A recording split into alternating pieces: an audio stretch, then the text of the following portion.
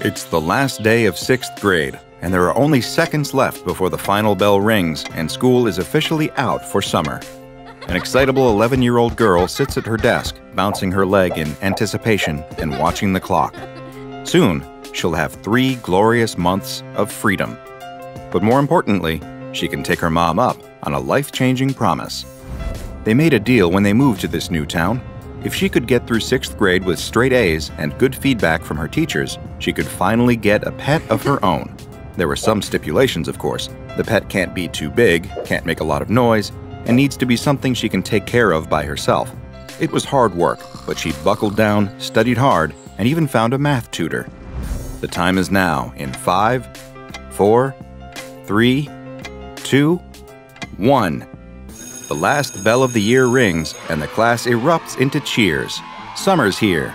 She shoves her books into her bag and runs out the door so quickly she barely catches her teacher's parting words of, Have a great summer vacation, everyone.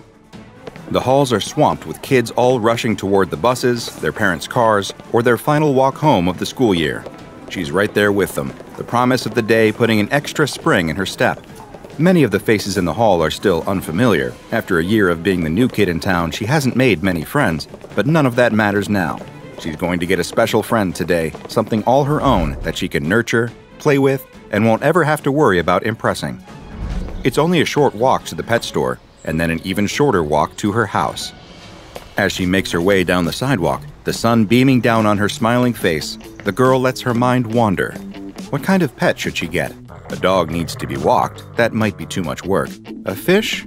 Maybe, but you can't play with a fish. You can't pet a fish, or at least it won't be happy if you try. She remembers a pet tarantula her eccentric aunt once had and shudders. No spiders, definitely not. She wants something friendly, something small enough that her mom won't complain, but something she can cuddle and really bond with. Whatever it ends up being, she's going to take great care of it. The walk feels much longer than it is, the anticipation stretching the minutes until they feel like hours.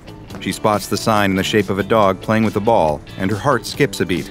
She's reached the pet store. Inside, there are an overwhelming number of options. She walks through the reptile section, pressing her face to the class of tanks housing iguanas, slithery snakes, tiny darting lizards with brightly colored tails.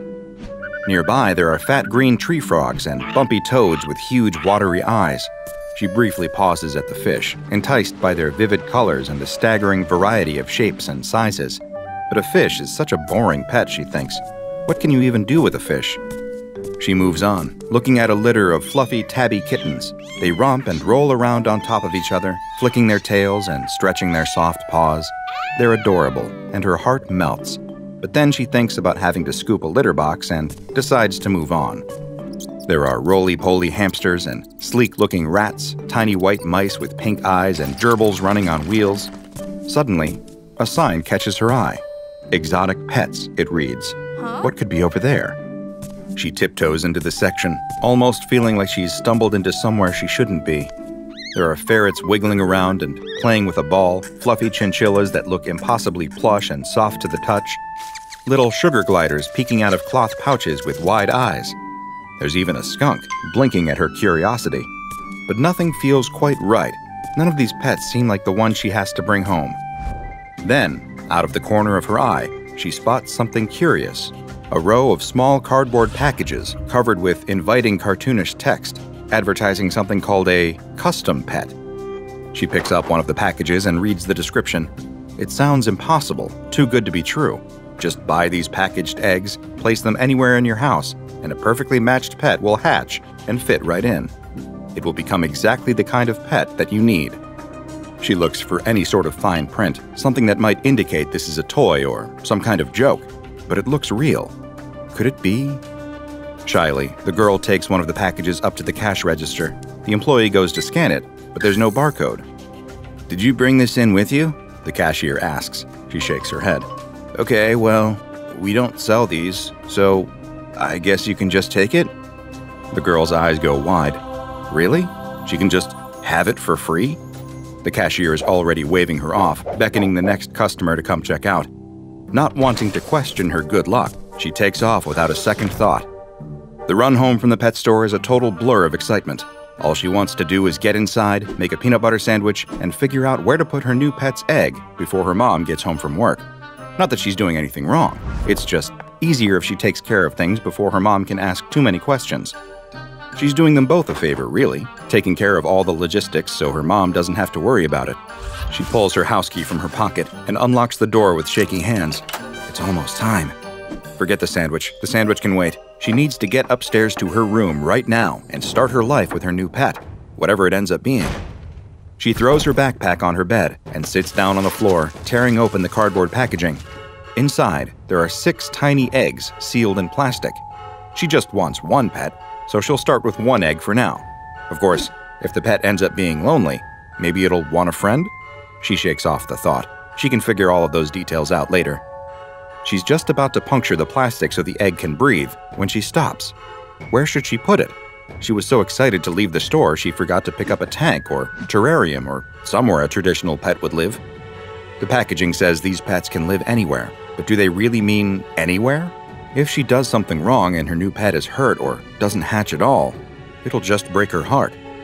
Then she spots a potential solution an old dollhouse, frilly and pastel pink and surprisingly spacious inside, sits next to her bed. She hasn't played with dolls in a while, insisting she was too old for them when she started sixth grade. But now she's thrilled that she didn't get rid of her dollhouse just yet. Even if the dolls don't live there anymore, maybe now it can be a home for something new, for whatever hatches out of this strange little egg. Carefully, she breaks the plastic seal on the egg and places it inside the dollhouse. All of the doll furniture and little plastic choking hazards are gone, leaving only a pretty pink Victorian style enclosure where the egg can safely hatch. Now, all she has to do is wait. Later that night, the girl wakes from a deep sleep to the sound of something moving inside the dollhouse the skitter of tiny legs, the rustling of something inside the formerly vacant dollhouse.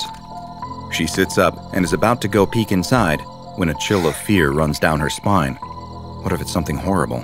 She doesn't know what kind of eggs those were. She'd never seen anything like them before. What if it's a spider or a worm or some other awful, monstrous thing she can't even imagine? And she brought it into her home, to where she and her mom sleep without even questioning it. She sits for a moment, the only sound the rustling of the thing in the dollhouse and her own short, panicked breaths. Then there's another sound. Huh? Light and sweet, like a little bird chirping. It's coming from the dollhouse. Curiosity finally gets the better of her, and she opens the dollhouse, lifting the roof off. Inside, she spots it her new pet. Feathery soft fur, pastel pink and white, covers the little animal, which is currently exploring its new home delightedly. It flicks around a poofy little tail that looks a bit like a lavender feather duster and stops to blink up at her with two large, friendly purple eyes. Slowly, she reaches a hand down to pet the animal, and it nuzzles into her palm, body vibrating with something like a kitten's purr. Any tension she felt before melts out of her body as she realizes the packaging was not lying. She put the pet in an environment that was comforting, sweet, happy, a piece of childlike joy, and it had become the living embodiment of those things. For a brief moment, she wonders how she'll explain this new addition to the household, what she'll need to feed it, and what her mom will say. But then her new best friend chirps happily again, and all she can think is, this is going to be an amazing summer. Things worked out very well for the girl. Meanwhile, other families across town were screaming in horror as a tiny fire breathing creature set their drapes ablaze, and another slowly dropped down from the ceiling on a silvery thread, blending into the shadows. This girl was not the only child to bring home one of these miraculous pets and hatch it in her home, and other children were much less careful about where they put the eggs. Of course, the children weren't to blame here. The blame lay with whoever was behind the design and widespread release of these odd little animals, also known as SCP 1550. SCP 1550 is a species of artificially synthesized creatures of unknown classification who are highly adaptable to any given environment. Their larvae will develop, grow, and change to fit whatever setting their eggs are placed in. Though adult specimens vary greatly in appearance, they all have markings on their underbelly that read a Dr. Wondertainment trademark. Because of their highly adaptable nature, it is uncertain exactly what the original form of these creatures might look like. SCP-1550 eggs are 1 centimeter long, beige in color, and stored in airtight plastic packaging that prevents them from hatching until they are exposed to the outside air. The SCP Foundation first discovered SCP 1550 after a collection of bizarre cardboard packages were found in the exotic pets section of a pet store. None of the workers had ever seen these packages before and had never even heard of SCP 1550 prior to being asked about it. The packages were brought into containment immediately and were found to each contain six SCP 1550 eggs in airtight containers. The original packaging also contained an instruction leaflet, which I've managed to get my hands on a copy of. It reads Hey kids, your parents aren't letting you get a dog or cat? Don't fret, buy a Dr. Wondertainment custom pet. A Dr. Wondertainment's custom pet is far superior to an ordinary and boring cat or dog due to their original Adapto Eggs packaging, a Dr. Wondertainment invention. Just leave your custom pet Adapto eggs around the house, and when they hatch, they'll fit right in. Perfect for apartments. To get your very own custom pets is easy, kids. Just put an egg in your house and break the plastic seal to give your new pet some air so it can hatch. Your new pet will be perfect for where you live, wherever you live. If your new custom pet seems lonely, just add another Adapto egg and get him a new friend. Dr. Wondertainment is not responsible for injuries or death caused by this or any other product. Wondertainment custom pets are shipped out prefixed. Who exactly is this Dr. Wondertainment? A person? A corporation? A highly intelligent octopus with a penchant for toy design? The identity of the force behind the trademark is undetermined, but whatever Dr. Wondertainment is, one thing is certain the toys they create are highly unusual. Dozens of Wondertainment's creations have been contained by the SCP Foundation, including SCP 2855, SCP 2396, and SCP 111. They range from useful to whimsical to downright destructive and the motives behind each invention are currently unknown. SCP 1550 is just one in a long line of anomalous toys from the shadowy toymaker. And so, like they have with so many other Wondertainment products, the research staff at the Foundation decided to perform some exploratory tests on these supposed custom pets. First, one SCP 1550 egg was placed in a tank of seawater and left to hatch, when it did, it produced a specimen with gills all along its upper back, behind its eyes, an array of flat and broad tails it could use to swim efficiently. Further examination of the creature revealed that it excreted special mucus to protect its eyes from the salt water, and a swim bladder that was discovered during dissection. The skin of the creature was a mottled blue, giving it natural camouflage in its seawater environment. Next, the team decided to place an egg in freshwater and see what different adaptations were produced. A tank was filled with water from a river behind the testing site, and the egg was placed inside until it hatched.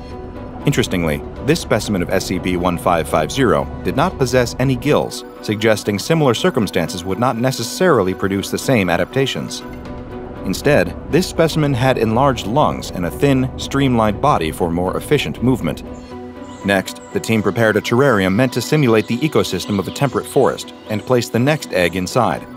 When it hatched, it produced a specimen of SCP 1550 covered in a layer of brown fur, with a ridged underbelly resembling that of a snake. It also had a tail consisting of large tentacles. Along the ridged underbelly, there was a smooth patch of skin with the Dr. Wondertainment logo printed, like a tattoo. The team prepared a different terrarium that simulated a desert ecosystem and allowed an egg to hatch inside. The resulting specimen was cold blooded, tan in color to blend in with the sand, and skilled at burrowing quickly to protect itself from outside stressors. It was also, notably, one centimeter larger than the previous specimens. The final terrarium was made to simulate the environment of an average urban apartment. The egg that hatched inside produced a creature with leathery skin and eyes placed similarly to those of a chameleon. The demeanor of the specimen was noticeably friendlier than its predecessors, and it acted more like a domesticated house pet than a wild animal. Its most impressive adaptation was its method of eating. Behind the specimen's jaw, there were strands of baleen like those found in whales, which allowed the creature to filter feed on dust and crumbs from the terrarium floor. After these experiments proved successful, the research team decided to test the eggs in more extreme environments.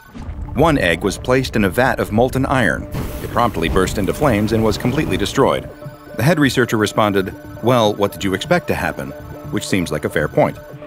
The next egg was placed inside a vacuum chamber, which was then depressurized. The egg promptly exploded, covering the inside of the chamber in an unidentifiable slime.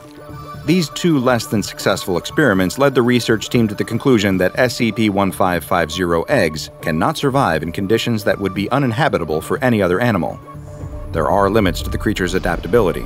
But what would happen to an egg placed in a hostile environment filled with something recognizable? A vacuum chamber was filled with seawater, and an egg was placed inside. The chamber was then pressurized to 15,750 psi. This time, the egg was not destroyed, but instead was able to successfully hatch. The resulting SCP 1550 specimen bore a heavy resemblance to several deep sea creatures, most notably the anglerfish. Like the anglerfish, the creature had a bioluminescent lure dangling from its forehead. It also had gills, dark gray blue skin, flat and webbed fins, and enlarged eyes twice the size of those found on other specimens. Its teeth were sharp and ridged, similar to those of a shark. The head researcher made a note on this portion of the experiment log, asking, just what kind of child Dr. Wondertainment is trying to sell these things to that they could live in conditions where a creature like that could be kept as a pet. All adult specimens of SCP 1550 are kept in a sealed 5 meter by 5 meter terrarium, which simulates desert conditions.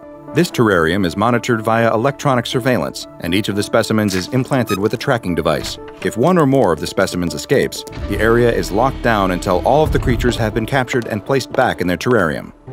All SCP-1550 eggs are kept in their packaging unless being used for testing. As the Foundation does not want the population of adult specimens to exceed 20 at any given time, excess specimens are terminated. Honestly, that makes me a little sad.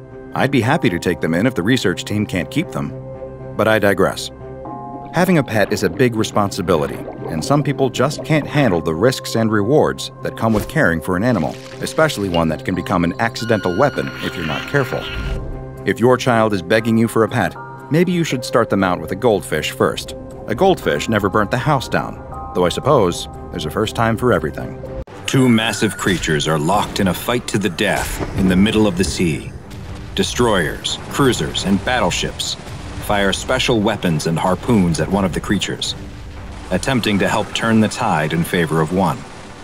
But they appear to have almost no effect on the gigantic monster. Hi, I'm Dr. Bob, and this is SCP 3700, also known as the Tides of War. SCP 3700 is what the SCP Foundation has labeled an 800 kilometer circular area in the North Sea located southeast of Iceland and north of the United Kingdom. The circle contains the Faroe, Orkney, and Shetland Islands. The seafloor is abnormally deep in this area, at roughly 5 kilometers below the ocean surface, roughly 20 times deeper than the rest of the North Sea. SCP 3700 experiences all kinds of strange, anomalous activity, including extreme weather and geological events.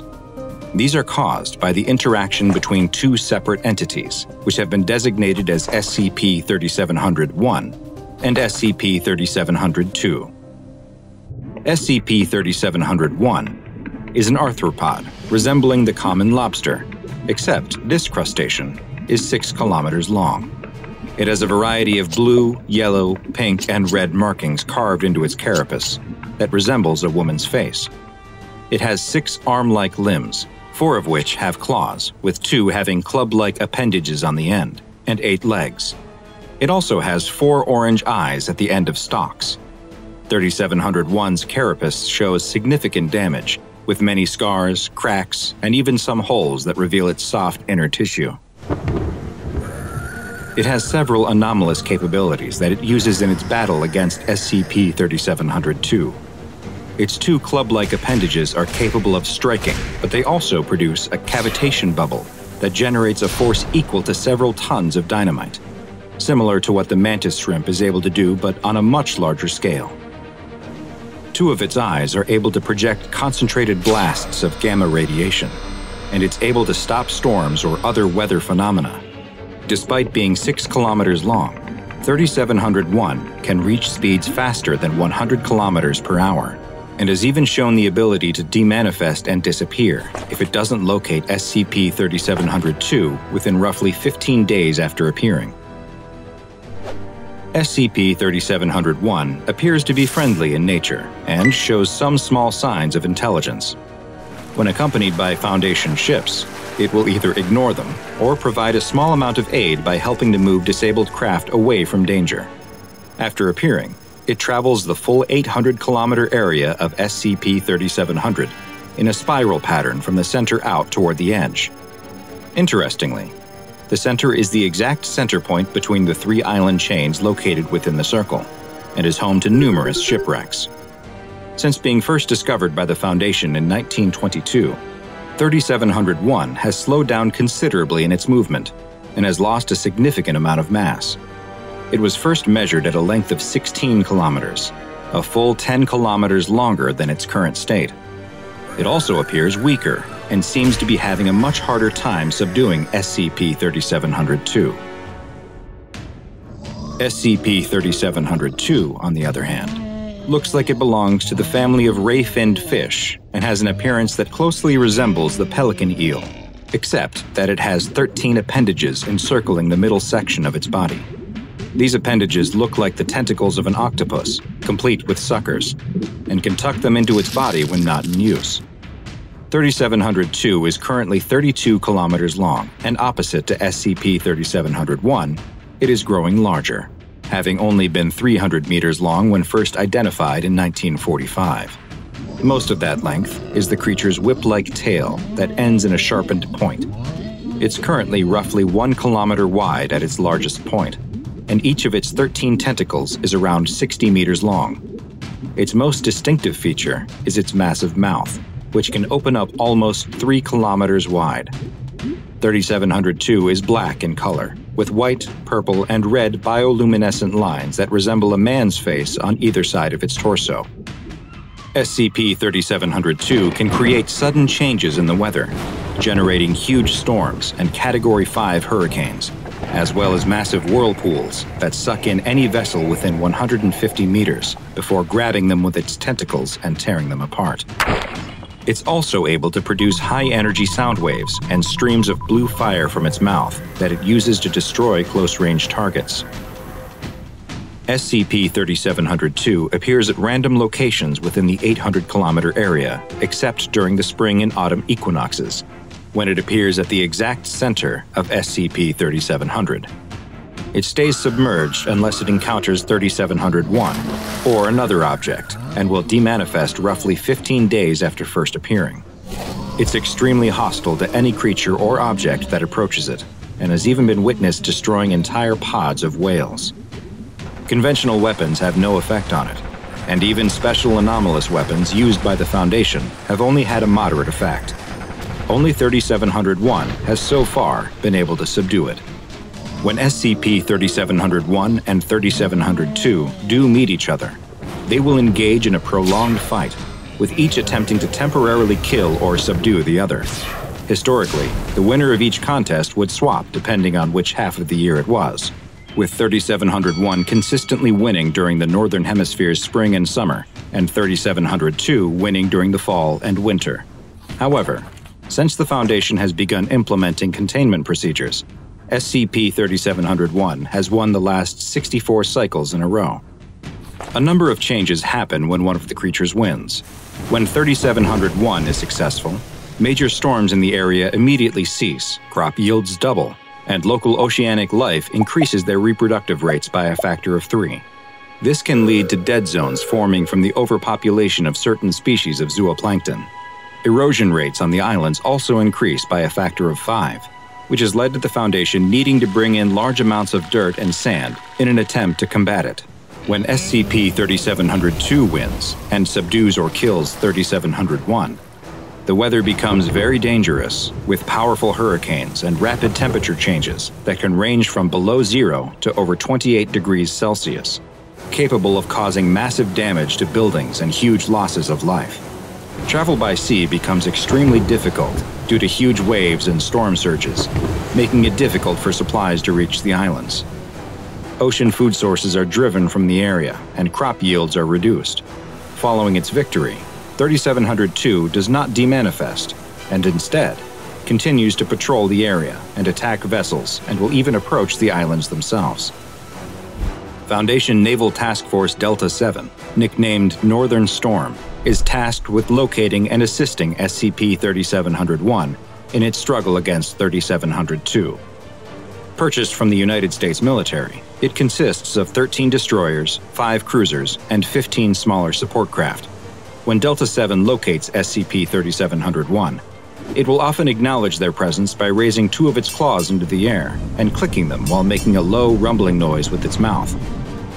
Delta 7 then accompanies SCP 3701 as it patrols its 800 kilometer area for 3702.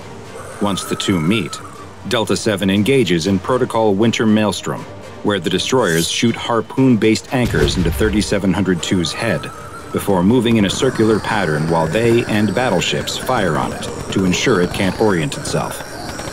The cruisers, meanwhile, attempt to draw its attention by firing and moving in a serpentine pattern at a distance of 300 meters. The two creatures will battle, blasting each other with gamma radiation and powerful sound waves. They whip, bite, and club each other, cracking armor and ripping off tentacles and other appendages, until one finally stops moving and dissolves into the sea. Should SCP 3702 be successful in defeating 3701, then Project Tumult is activated, and the following procedures must take place. First, there is an immediate evacuation of all naval and civilian craft from the 800 kilometer zone.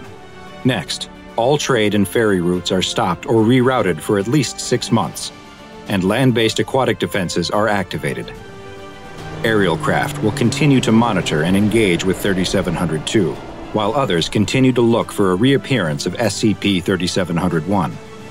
Since it appears that SCP 3701 continues to physically degrade, and with the exact opposite being true for 3702, it's been proposed to let 3702 win and subdue 3701 twice every five years, despite the terrible effect on locals in the area. Though this plan has yet to be approved, it may be the only chance to stop 3702 from becoming so strong that 3701 is never able to defeat it again. A violent storm rocks a merchant ship back and forth. Huge waves roll over the deck and threaten to capsize the vessel. A merchant sailor grips the railing, trying with all his might not to be thrown overboard. With a loud twang, a cable snaps loose. A hand suddenly grabs his shoulder. He turns around with a fright to see that it's one of his shipmates. He points towards the bow of the ship and yells over the roar of the storm that they need to try and repair it. The two men make their way to the front of the ship, and the sailor starts working to fix the broken cable. He looks up to see that his mate is no longer working. He's staring straight past him, and there's fear in his eyes. The sailor turns around to see a massive tentacle sticking out of the sea. The huge appendage is mind boggling in its size. He can only stand there, marveling at it, until it begins violently smashing against the deck. The sailor dives out of the way just before the tentacle crashes down right where he was standing, where his crewmate was still locked in fear. The ship is in chaos as more tentacles appear and slam the deck over and over. One cracks the deck right next to him, sending him flying. He comes to moments later in a wreckage pile. Nothing else has changed, though. Whatever this monster is, it's not stopping its assault on the ship. The sailor stands up and picks up a sharpened piece of wood from the pile he was lying in. He runs over to the nearest tentacle and thrusts the sharpened stick into its flesh. There's a mighty roar from the sea, and the tentacles stop their onslaught. They go limp before sliding into the sea. The sailor looks around at the carnage that's been wrought. Dead bodies and debris litter the deck. He moves to check on his crewmates when right in front of him, bursting from the sea, is the head of the biggest squid he has ever seen. A massive beast that must be a thousand meters long. Whatever he had seen before of this creature was truly just the tip of the iceberg. With another roar, the creature lifts up out of the water and wraps its arms around the ship. The sailor only has time to duck down and close his eyes before the entire ship is pulled down beneath the waves. With a gasp, the sailor breaks the surface, screaming and gulping for air. He's alone now, treading water in the middle of the ocean during a storm, but not for long. The squid reappears, its head slowly rising out of the water just in front of him. Its head, the size of a house, has two giant, uncaring black eyes that seem to both see him and not. It extends a tentacle toward him as it leans back in the water, exposing its huge beaked mouth. It wraps its powerful arms around him and starts to pull him towards it, when suddenly, there's an explosion. The squid has been struck by something. Both the sailor and the creature turn to see the most incredible thing. A battleship is coming towards them, slowly rising out of the ocean as if it were somehow submerged, and it's firing on the creature. The squid drops him and starts heading towards the ship. This is going to be a battle for the ages. While this sailor had no idea what he was witnessing, the SCP Foundation was all too familiar. This was yet another incident of SCP 2846, also known as the Squid and the Sailor. But first, a quick personal request from me. I need your help to spread the word about the lesser known anomalies in the SCP Foundation's archives. The best thing you can do to help me is subscribe, turn on notifications, and then go tell your friends to do the same. This is a huge help and will let me bring you more and more SCP anomalies. Now back to our file. SCP 2846 is the name given to a set of phenomena that occur in the Gulf Atlantic region. These phenomena consist of interactions between two entities, known as SCP 2846A and SCP 2846B. 2846A is a gigantic aquatic creature that resembles a cephalopod, though no similar organism has been discovered that is even close to approaching its size, with estimates placing 2846A at being at least 950 meters in length. This creature appears in areas of deep water during storms and will attack civilian vessels, especially cruise ships and merchant vessels. These attacks are sporadic and follow no known patterns other than that they take place during inclement weather. They are sudden and without warning, and will nearly always result in the complete destruction of the targeted vessel if they're not intercepted. Attempting to stop these attacks is SCP 2846B, a large seafaring vessel that, in its current form, resembles a Pennsylvania class super dreadnought battleship, though it appears hazy in photos and videos, as if translucent. And eyewitness observers have described the ship as looking vaporous. Just like SCP 2846A, this ship will appear from deep water, surfacing near the site of a 2846A event. The vessel will fire on the creature, drawing its attention, and the two will then engage in a heated battle.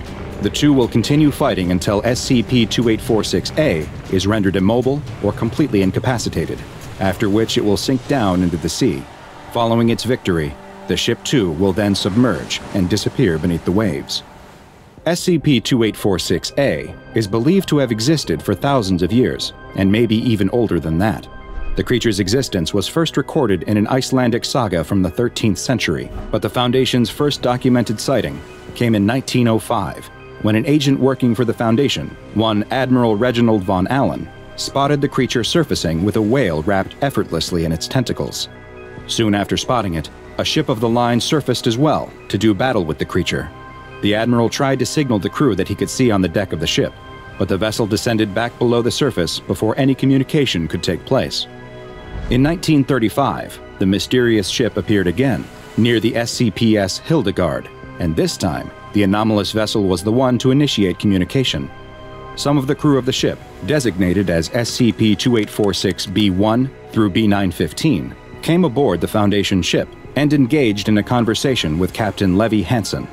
SCP 2846B1 identified himself as David Thomas Jones of the Royal Navy and went on to explain that their ship had been sunk by a monster resembling SCP 2846A over 300 years in the past. He described how, after sinking into the darkness of the sea, he awoke on a mysterious shore where he met with a woman who referred to herself as Calypso, the goddess of the sea. She explained how she had sealed the leviathans that prowled the depths of the ocean in a pit, but that over time, the seal she had placed on it had begun to weaken. A titan had escaped and taken the form of the most deadly creature in the sea the Kraken. Calypso feared that the creature would attempt to further destroy the seal and release its monstrous brethren, a disaster that would result in the end of all human life. She requested that Jones pursue the creature along with his crew for as long as needed, and in return, they would be granted immortality. Jones agreed, and his endless battle against the anomaly began that day. The reason he had now come aboard a Foundation ship was directly related to this task. SCP-2846-A had grown more powerful over the years, larger and bolder too. He and his men couldn't die, but many more would if they were no longer able to subdue the beast. He needed something from the SCP Foundation. He needed a bigger boat. Following this conversation, and seeing the value in allowing Jones and his crew to continue their mission, the Foundation commandeered a newly built Pennsylvania class super dreadnought battleship from the U.S. Navy, the USS Montana. The ship was sunk 15 kilometers from a Foundation naval facility in Cuba. 30 hours later, the ship surfaced from the sea, though it was now more heavily armed than the USS Montana had been. As part of the agreement, SCP 2846B was fitted with an explosive device that is capable of completely destroying the ship should the crew for some reason ever turn their guns on Foundation or other human targets. In 2013, an important discovery was made after a tracker was attached to SCP 2846A.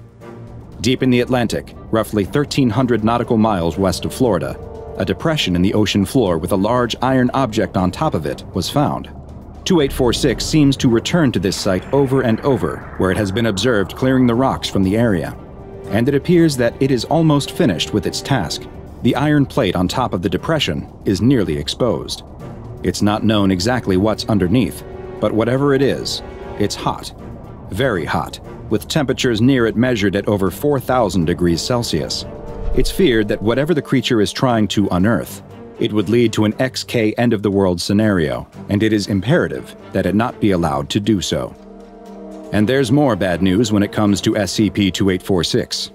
In 2014, the Foundation ship SCPS Pristine was pursuing a large underwater organism assumed to be SCP 2846A and signaled to 2846B to surface and dispatch the creature in what had become the normal operating procedure.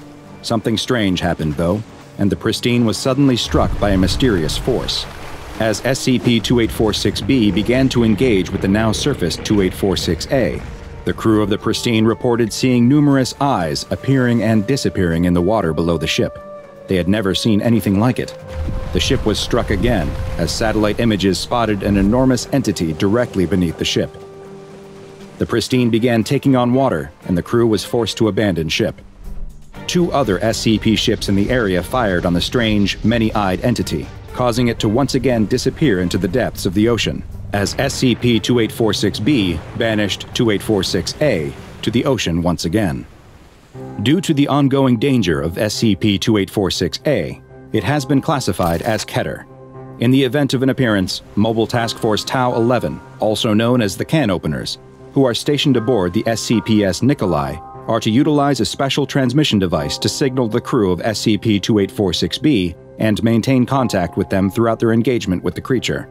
Tau 11's primary mission is to minimize civilian exposure to the anomaly, and any non Foundation ships that come in contact with either 2846 entity are to be moved from the area, and all aboard the craft are to be given Class C amnestics.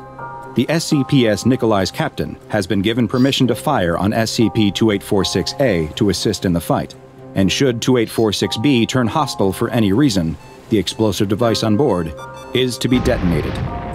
It is still unknown just what the entity that attacked and destroyed the SCPS Pristine was, but the ease with which it dispensed of the vessel has many in the Foundation worried that SCP 2846A has already been able to release one of its brethren from its prison, and at this point, stopping them may no longer be an option.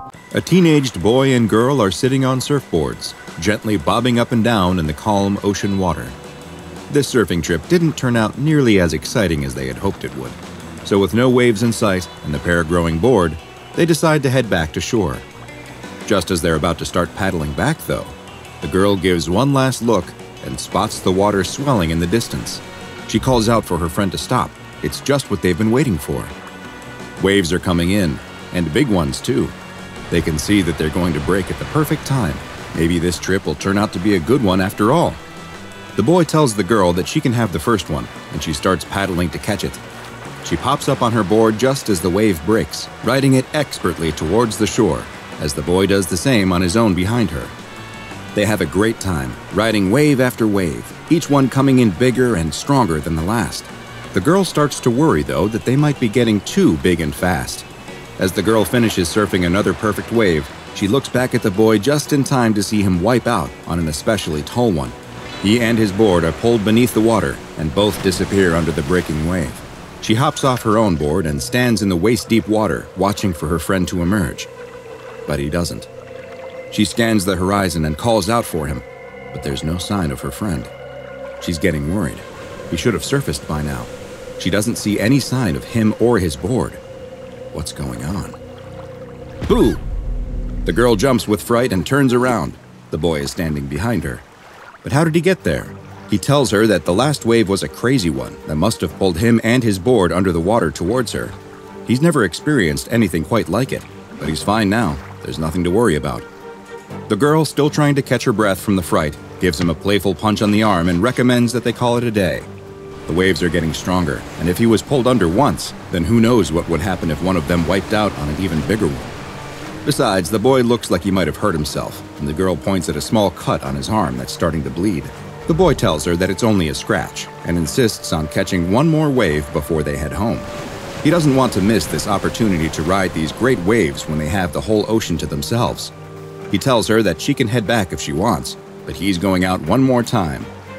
The boy starts to paddle back out, and the girl reluctantly follows him. As they wait to catch a wave, she tells him that this time he can go first.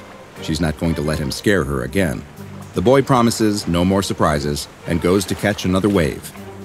The waves are coming faster now, and she's able to get on one right behind him. As she surfs towards the shore, she keeps one eye on the boy. These waves are tough, and she needs to focus, but her attention is drawn towards her friend. She sees something forming on his wave. It looks like the water itself is growing out of the crest of the wave and reaching towards the boy. It looks like the jaws of a shark. The girl screams, and the boy looks back, straight into the gnashing teeth of the shark reaching out of the waves. The boy yells in fear and falls, tumbling into the water just underneath the mouth as its jaws snap shut on his board right where he was standing, splintering it into pieces. The girl can't believe what she's seeing and stumbles on her board. She catches herself but looks behind her just in time to see the same jaws coming out of the wave towards her. The boy emerges out of the water carrying his friend onto the nearly empty beach. He lays her down in the sand, screaming for help as a few beachgoers start running towards them. No one has any idea what they could possibly do to assist, though. Both of the girl's legs have been bitten off at the thigh, and it's clear she was dead long before he carried her onto the beach. Bonjour! Today's file comes from our friends at the French branch of the SCP Foundation, a frightening and dangerous aquatic anomaly that has been designated SCP 054 FR, but is appropriately also known as Blue Fear. SCP 054 FR is an oceanic phenomenon that has been observed occurring in several different regions spread across the world. In these areas, of which at least five have been identified, certain waves will display extremely dangerous anomalous activity. The waves themselves will seem to physically transform, taking on a shape that resembles the mouth and jaws of a Carcharodon carcharias, a species of shark better known to most as the great white. The giant shark mouth, which is full of row upon row of razor sharp teeth, will often go unnoticed until it is too late for the unfortunate victim, with the roar of the powerful wave itself covering up much of the sound of the gnashing jaws as it attempts to bite the targeted individual. The SCP-054-FR phenomenon will only appear on waves in these areas that are at least 4 meters in height, but a maximum height on which the jaws will manifest has yet to be identified. Waves carrying the anomalous effect are changed in other ways too. Not only does a terrifying set of carnivorous jaws appear out of the water, but the wave will move faster as well. With SCP-054-FR waves having been measured at rolling three times the speed of normal, non-affected waves. The frequency of just how often SCP-054-FR will affect waves is not well understood, but what is known is that waves will speed up when a human or non-aquatic animal is in the water between a wave instance and the coast. The frequency of 054 FR waves will increase dramatically as well when individuals in the area are at least 250 meters from the coast. And SCP 054 FR does not care which aquatic activities you're engaging in when it spots you that far from shore. There have been documented cases involving casual swimmers, snorkelers, and divers, but surfers are, for some unknown reason, far and away the most likely victims. Observations have shown that non aquatic animals are also at risk of triggering the effect, such as in the case of several seabirds that were seen floating on the water just before an SCP 054 FR wave crashed down on them and the birds vanished, leaving only blood and feathers floating on the surface where they once were. Even some aquatic vehicles like jet skis and small boats have been observed being attacked by the anomalous shark jaws, though it seems to avoid going after larger vessels. If more than one person is present in the area that SCP-054-FR is manifesting, though, then additional instances of the jaws are able to form, either on the same wave or on multiple different ones in the area. The injuries caused by SCP-054-FR are very similar to those of a normal, non-anomalous great white shark, and the force of the jaws appears to be proportional to the size of the wave itself, with larger waves being more powerful than smaller ones. Victims of 054-FR attacks have had entire limbs ripped off, others were torn completely in half, while some simply disappeared beneath the wave as it crashed down on top of them and the jaws snapped shut. The only way to avoid being bitten or swallowed whole is to dive down under the wave before it impacts, but the opportunity to do so is quite rare given the wave's ability to sneak up on its victims, and the injuries that are nearly always sustained from an appearance of SCP 054 FR are fatal in 68% of recorded cases.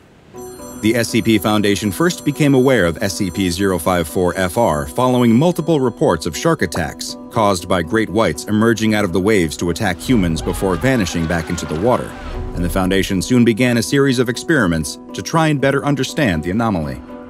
The first test performed by Foundation researchers was quite straightforward and involved dumping large quantities of animal blood into the water in an area where SCP-054-FR was reported to have been attacking people. Just like with a normal shark, the blood seemed to act as a trigger for the anomaly, causing it to manifest in less than two minutes, and the researchers watched as the shark jaws tried to bite at the blood as the wave rolled over it. The test was repeated, but this time human blood was used instead. This also caused instances of SCP-054-FR to appear on the waves, though now they manifested much faster, often showing up less than one minute after the blood was dumped into the water. It seems that SCP-054-FR has a strong preference for humans, or at least their blood, and only a small amount is all that is needed to cause the shark jaws to quickly appear.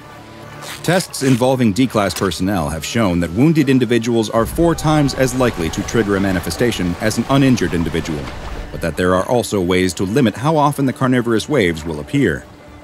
It seems that lying motionless on the water will significantly reduce how often SCP-054-FR will spawn, and slow body movements will decrease the likelihood of an appearance as well. Strangely, while blood will make the jaws manifest quickly, it is unlikely that it is because SCP-054-FR can smell it, since tests that have tried to disguise the smell of both the blood and the human test subjects have all met with failure. So far, all attempts at damaging the anomaly have also been unsuccessful. Bullets fired at the shark jaws pass harmlessly through it, disappearing into the wave as if they were shooting at perfectly normal water. Given its nature, it seems unlikely that the Foundation will find a way to capture and contain SCP-054-FR, so for the time being, all containment efforts have been directed towards keeping humans away from it a one kilometer exclusion zone has been established around the five geographic areas where manifestations have been reported, and civilians are completely forbidden to access the areas under the guise of there being ongoing research into marine mammal life that would be disrupted by the presence of any humans. Secrecy is of the utmost importance when it comes to SCP 054 FR in order to keep the curious away for their own safety, so any photographic evidence of the anomaly is confiscated and destroyed and witnesses of an SCP-054-FR attack are given amnestics in order to remove the memory of any anomalous shark attacks from their minds. The Foundation also engages in an extensive misinformation campaign to debunk any evidence of the anomaly, spreading the idea that any reports of a shark mouth forming on waves are simply hoaxes or misunderstanding of wave dynamics, while attacks are blamed on normal, non-anomalous great white sharks. It is unknown if the five areas the Foundation has contained make up the entirety of the locations where SCP-054-FR can manifest, but Foundation agents continue to monitor reports of shark attacks around the world, and hopefully, they will find that they were the result of the regular oceanic superpredator, and not the kind that can manifest behind you when you least expect it.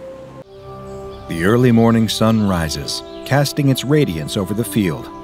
The shepherd stands guard, watching his sheep graze, it's a beautiful morning. The sheep are quiet, and his loyal dog is at his side. But the shepherd is perturbed. He is certain that there are sheep missing. He wanders through the field, counting the sheep off one by one, but no matter how many times he counts, he simply cannot make the numbers gel. There are definitely five sheep missing. How is this even possible? His family has been in the sheep herding business for generations. They survive on the money that they make from shearing, selling, and spinning the wool from these sheep.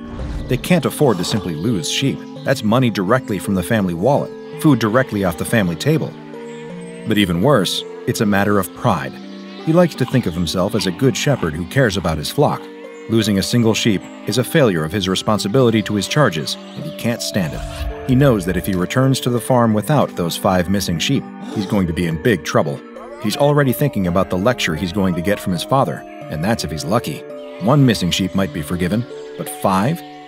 He'll be lucky if his family doesn't throw him out of the house for his failure. It's imperative that he find them and bring them back. He pats the head of his trusty sheepdog. Every shepherd, of course, has a sheepdog to help them keep their flock safe. His dog has been with him for many years, and she has never failed in the past. She keeps watch over the flock as if they were her own puppies, so the shepherd thinks it very strange that his dog didn't bark to sound the alarm when the missing sheep started to wander off. Could something more sinister be at play here? Maybe someone stole his sheep. If a thief came during the night to sneak away with the lost sheep, that might explain why they were able to get away without his dog knowing. They might have been clever enough to cause some kind of distraction to keep her busy. The shepherd notices that the fence at the edge of the field is broken. This must be how the missing sheep got away. He examines the splintered wood. It's not a natural break because the wood is sturdy and far from rotten. Someone, or something, must have broken the fence sometime last night. He clutches at his shepherd's crook, his brow set in determination. This isn't good. It's looking more and more likely that thieves are behind this disappearance. He needs to track them down, but he will have to be careful. Sheep thieves are usually desperate men, and they might resort to violence to protect their ill gotten gains. A glint of sunlight flashes against something shiny caught on the fence, catching the shepherd's eye. He scoops it up and examines it closely. It looks like a scrap of fabric, could it be that the thief snagged his clothes against the fence as he made his escape? The fabric is thin and brittle, and doesn't look like any sort of material that the shepherd has ever seen before. It more resembles a scrap of snakeskin than a scrap of shirt, but it's his only lead, so it'll have to do. He holds the scrap to his dog's nose and allows her to sniff it. She snuffles at it and then immediately raises her ears, alert. He commands her to follow the scent, and she obeys. She puts her nose to the ground and starts to track. He follows her. The dog leads him out of the field and across the way. He is surprised to see that she is leading him toward a nearby forest. He gulps in sudden fear. He's never been into these woods, and, in fact, his family has often warned him to stay away. Everyone in his village loves to repeat rumors that this forest is haunted, filled with every sorts of scary monsters and demons. Why would the sheep thief brave these cursed woods? On the other hand, that would make sense, though, wouldn't it? A thief would need a lair that was hidden and difficult to approach, so that they wouldn't have to worry about getting caught. These woods would be a perfect hiding place. Still, he can't help but wonder. His dog lifts her head and whines at him, indicating that he should follow. He steels his resolve and continues on. His fingers clutch tightly to his staff, his knuckles going white with fear and tension. He's almost convinced that he might see a monster here in these woods, and he's ready to defend himself from the worst. Eventually, his dog leads him into an unexpected clearing. The shepherd blinks in amazement. Standing at the center of the glen is what appears to be the remains of an ancient temple. He hasn't given much thought to the history of this place, to all the people who lived here in ancient times, and to what monuments they left behind. The crumbling ruins are overgrown with vines, and the columns look like they might disintegrate at a touch. He wonders what ancient civilization might have built this lost citadel, and what strange rites they might have performed here. But he doesn't have time to wonder about that because his dog is barreling ahead, right through the ancient temple archway and into the interior of the building. He wants to turn and run. Everything that he's ever heard about these cursed woods makes him think that this is a very bad idea, but he knows he can't return home without those sheep. Just as he's about to enter the temple himself, he suddenly hears loud barking, followed by whining and whimpering. He rushes inside, and a terrifying sight meets his eyes.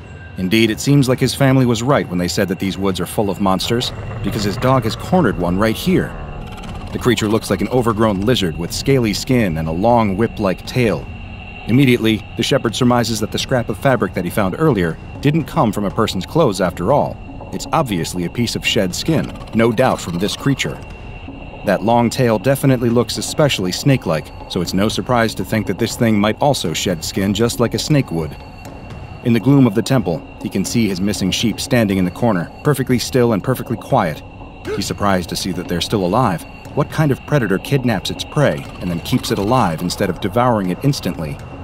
It's also very odd that the sheep are being so still, but it's probably just that they're petrified with fear. The good news, though, is that if his sheep are alive, that means he can rescue them.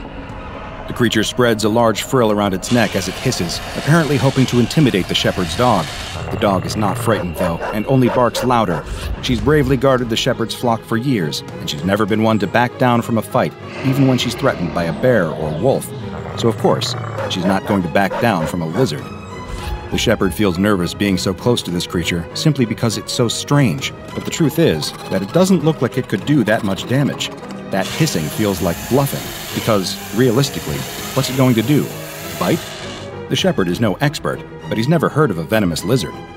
He steps forward to get a better look, and the creature tenses. It's obviously nervous. It's not even that big. His dog is way bigger than this creature and shouldn't have any trouble taking it in a fight. He's seen his dog fight off rats bigger than this lizard. The creature spreads its frill again and hisses even more sharply, but that only makes the shepherd even more confident in his assessment. It's trying to look bigger than it really is, he realizes. It's trying to intimidate him. Well, that's not going to work. But then, to his astonishment, his dog stops. The dog and the creature stare at one another so intently that the shepherd thinks they are actually gazing into each other's eyes. After holding its gaze for a beat, the dog suddenly collapses. The shepherd yelps in fear and confusion. His first instinct is to run to his dog to see if she's hurt, but suddenly, the creature turns its gaze on him. He stands frozen. The creature's eyes almost seem to cast a spell on him, and he feels mesmerized, unable to move or even to think. All his thoughts drain away, and the whole world starts to fade. Nothing is real except those two malevolent red eyes. The shepherd is absolutely paralyzed. It's not just terror, he finds that he can't move a muscle. He can only watch as the strange reptile approaches his frozen dog and suddenly bites her on her exposed flank. It lashes out like a snake would when it injects venom into a victim. The shepherd was sure that there weren't any venomous lizards in this area, but now he's not so sure when he's watching this scenario play out. He expects his dog might start to convulse or spasm if she's been poisoned, but she remains completely still. Suddenly, he sees something so shocking that he's certain he must be losing his mind. Could it be? The area around the bite is starting to change color, becoming a dull gray. But as he watches, he realizes to his horror that he's not just watching a color change. This is something more. His dog is slowly petrifying, hardening, her fur stiffening into stone. She is literally turning into a statue right before his eyes. He can't move, but his eyes flick to the corner of the room where his sheep are still standing. Now he understands. It was hard to tell before, because of the darkness and also because the very idea was so preposterous that it didn't even occur to him. But the reason that the sheep were so still and quiet was because they weren't sheep anymore. They were mere statues. Somehow, this creature was able to turn things to stone with the force of its venom.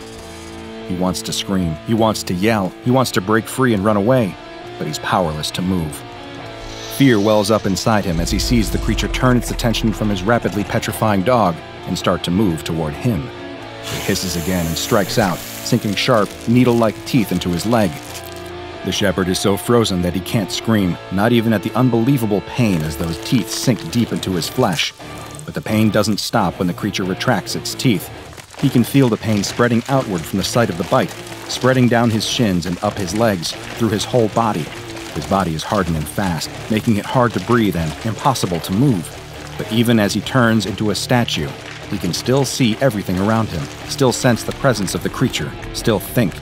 His thoughts aren't affected at all, other than being nearly out of his mind with terror. What could be next? The shepherd is frightened, but all he can do is wait. He's not sure how long he waits, because time has no meaning here. In the gloom of this ancient temple, he's not sure if it's day or night.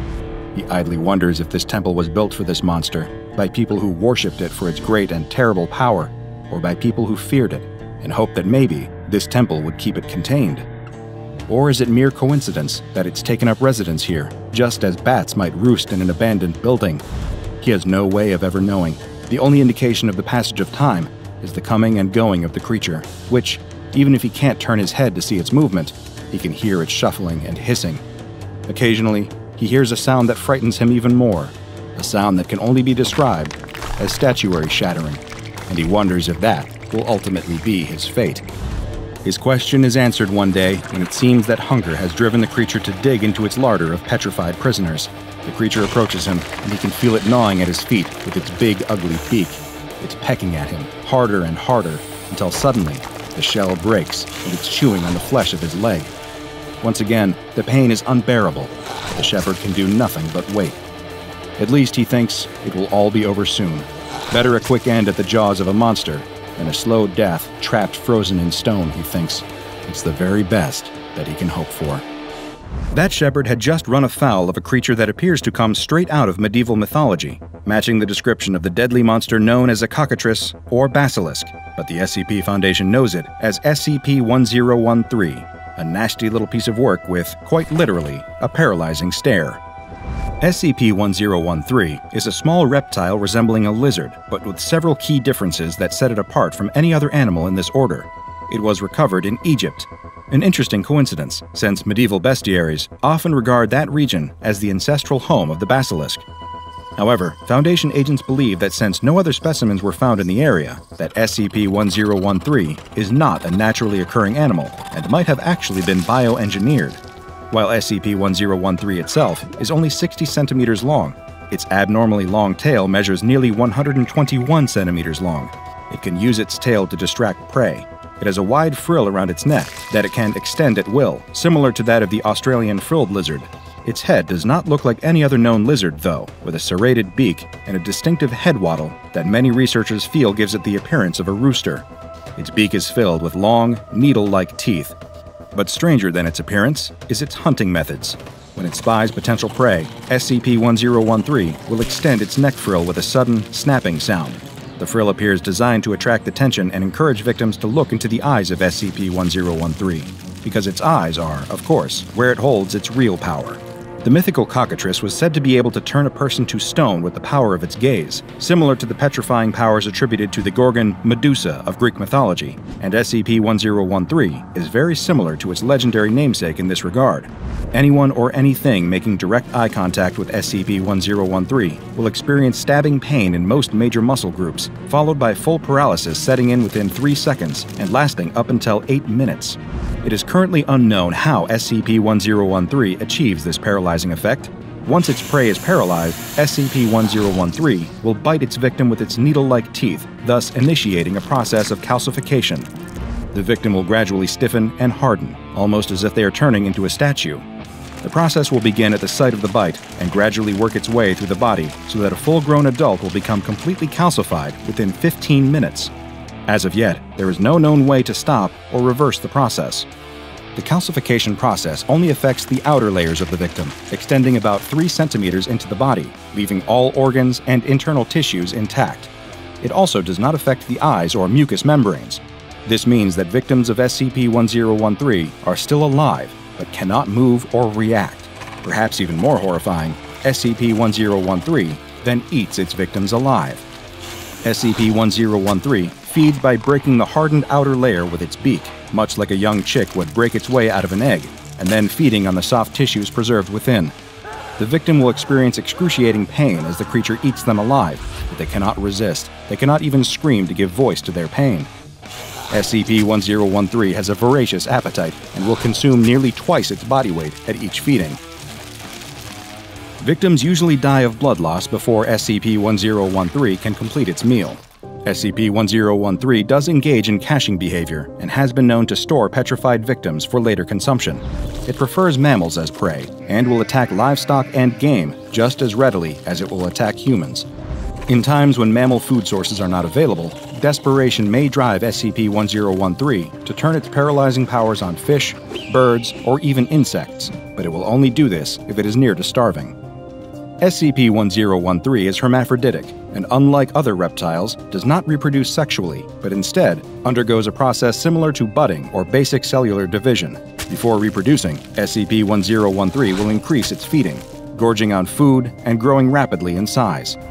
Eventually, it will develop cyst like structures in its abnormally long tail, each of which contains a juvenile SCP 1013. Juvenile SCP 1013 hatch after only 48 hours Parent SCP-1013 will typically release hatchlings within calcified prey, providing a ready food source for the juveniles until they can hunt on their own.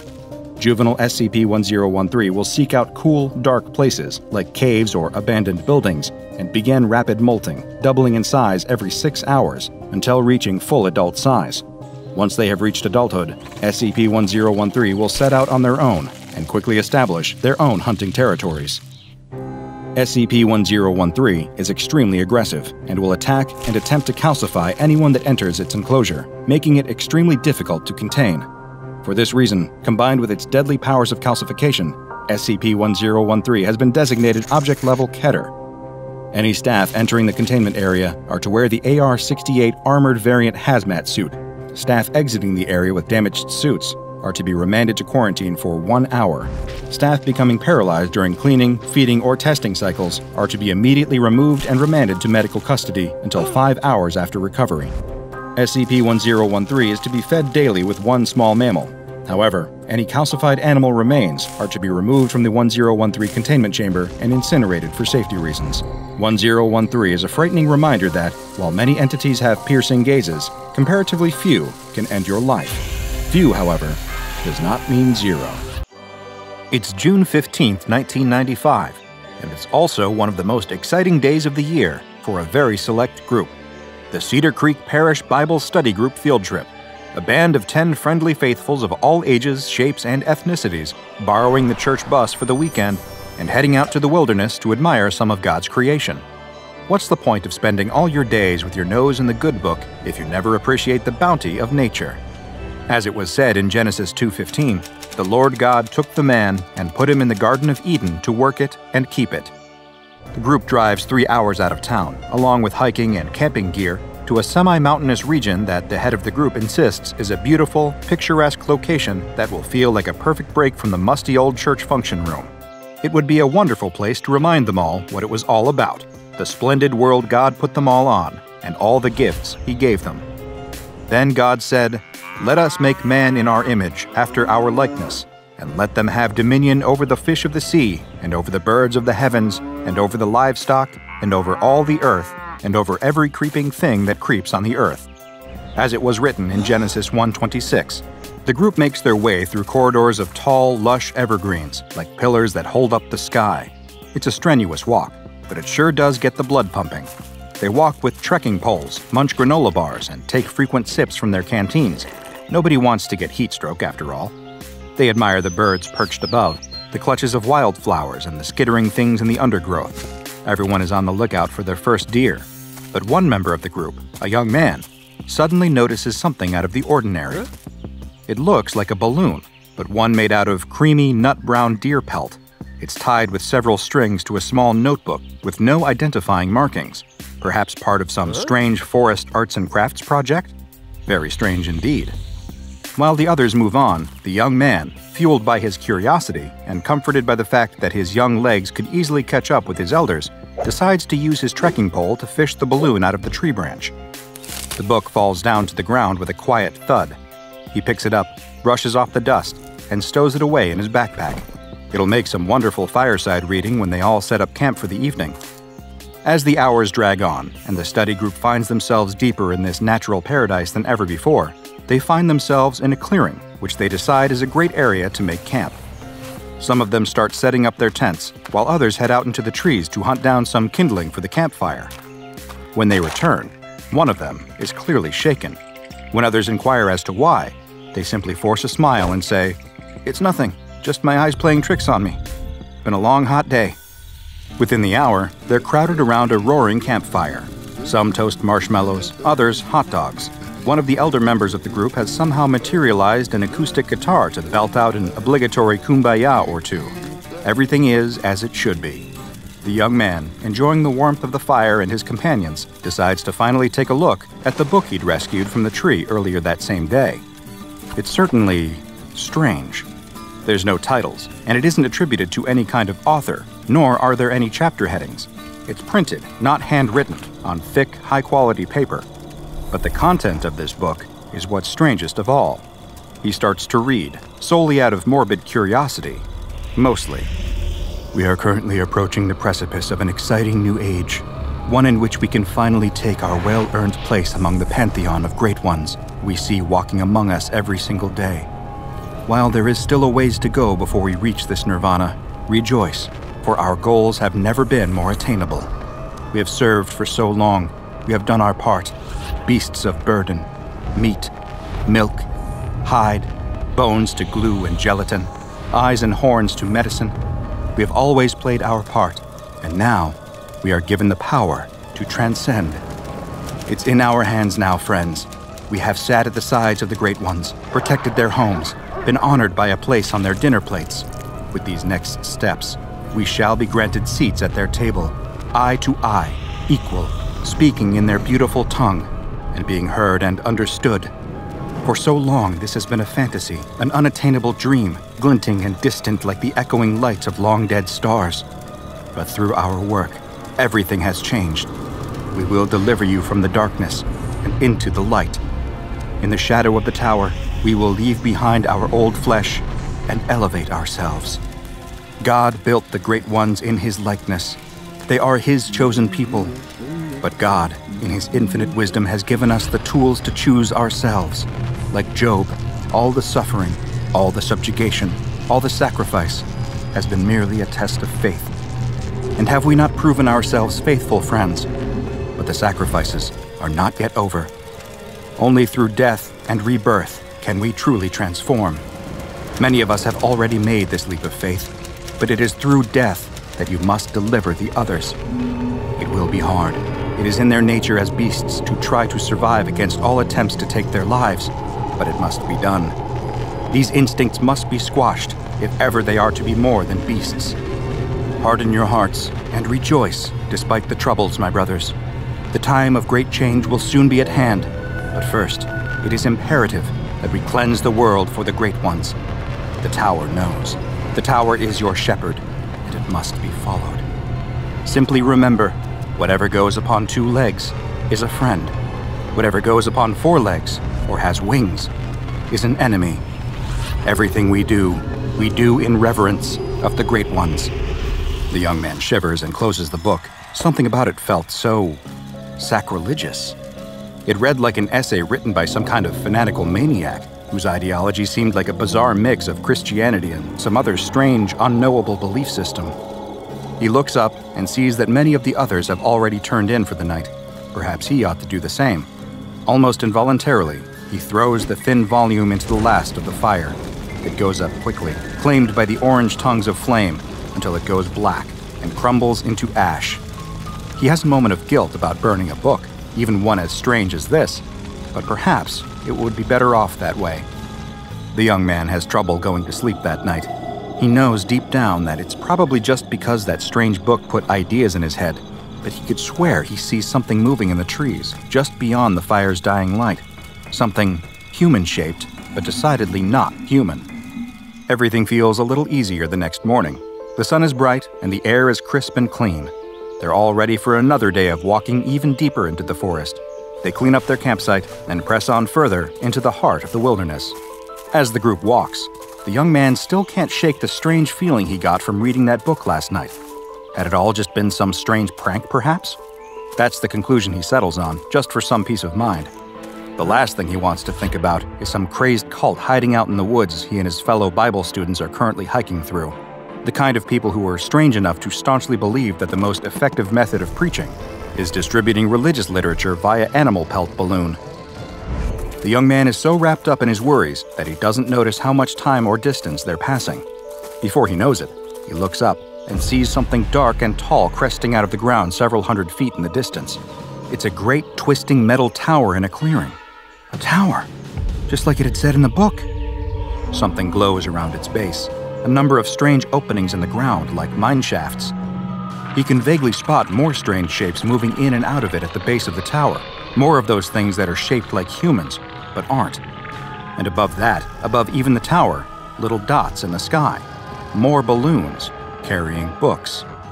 But none of the others seem to notice that. Instead, they're looking off to the side, staring at a large buck with tall, proud antlers standing amongst the trees. Some are gasping, others are taking pictures.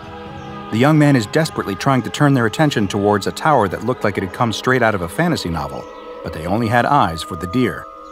The thing that the young man hoped they would all see, though, would soon be demanding their attention. a pair of strange figures sprint out of the forest. They're grotesque nightmare cyborgs, flesh that had once been animal twisted into the shape of man, held together by spinning cogs, wires, and pulleys, terrible affronts to God's creations. Their faces are disgustingly flat, dripping with drool and home to wild, swiveling eyes. Staggering unnaturally on their two hind legs, the mere sight of them elicits screams from the group. They jump onto the buck like a pair of vicious predators, one grabbing it around the neck and the other leaping onto its back. Striking, squeezing, biting, and clawing, their attack is horribly ferocious, but mercifully quick.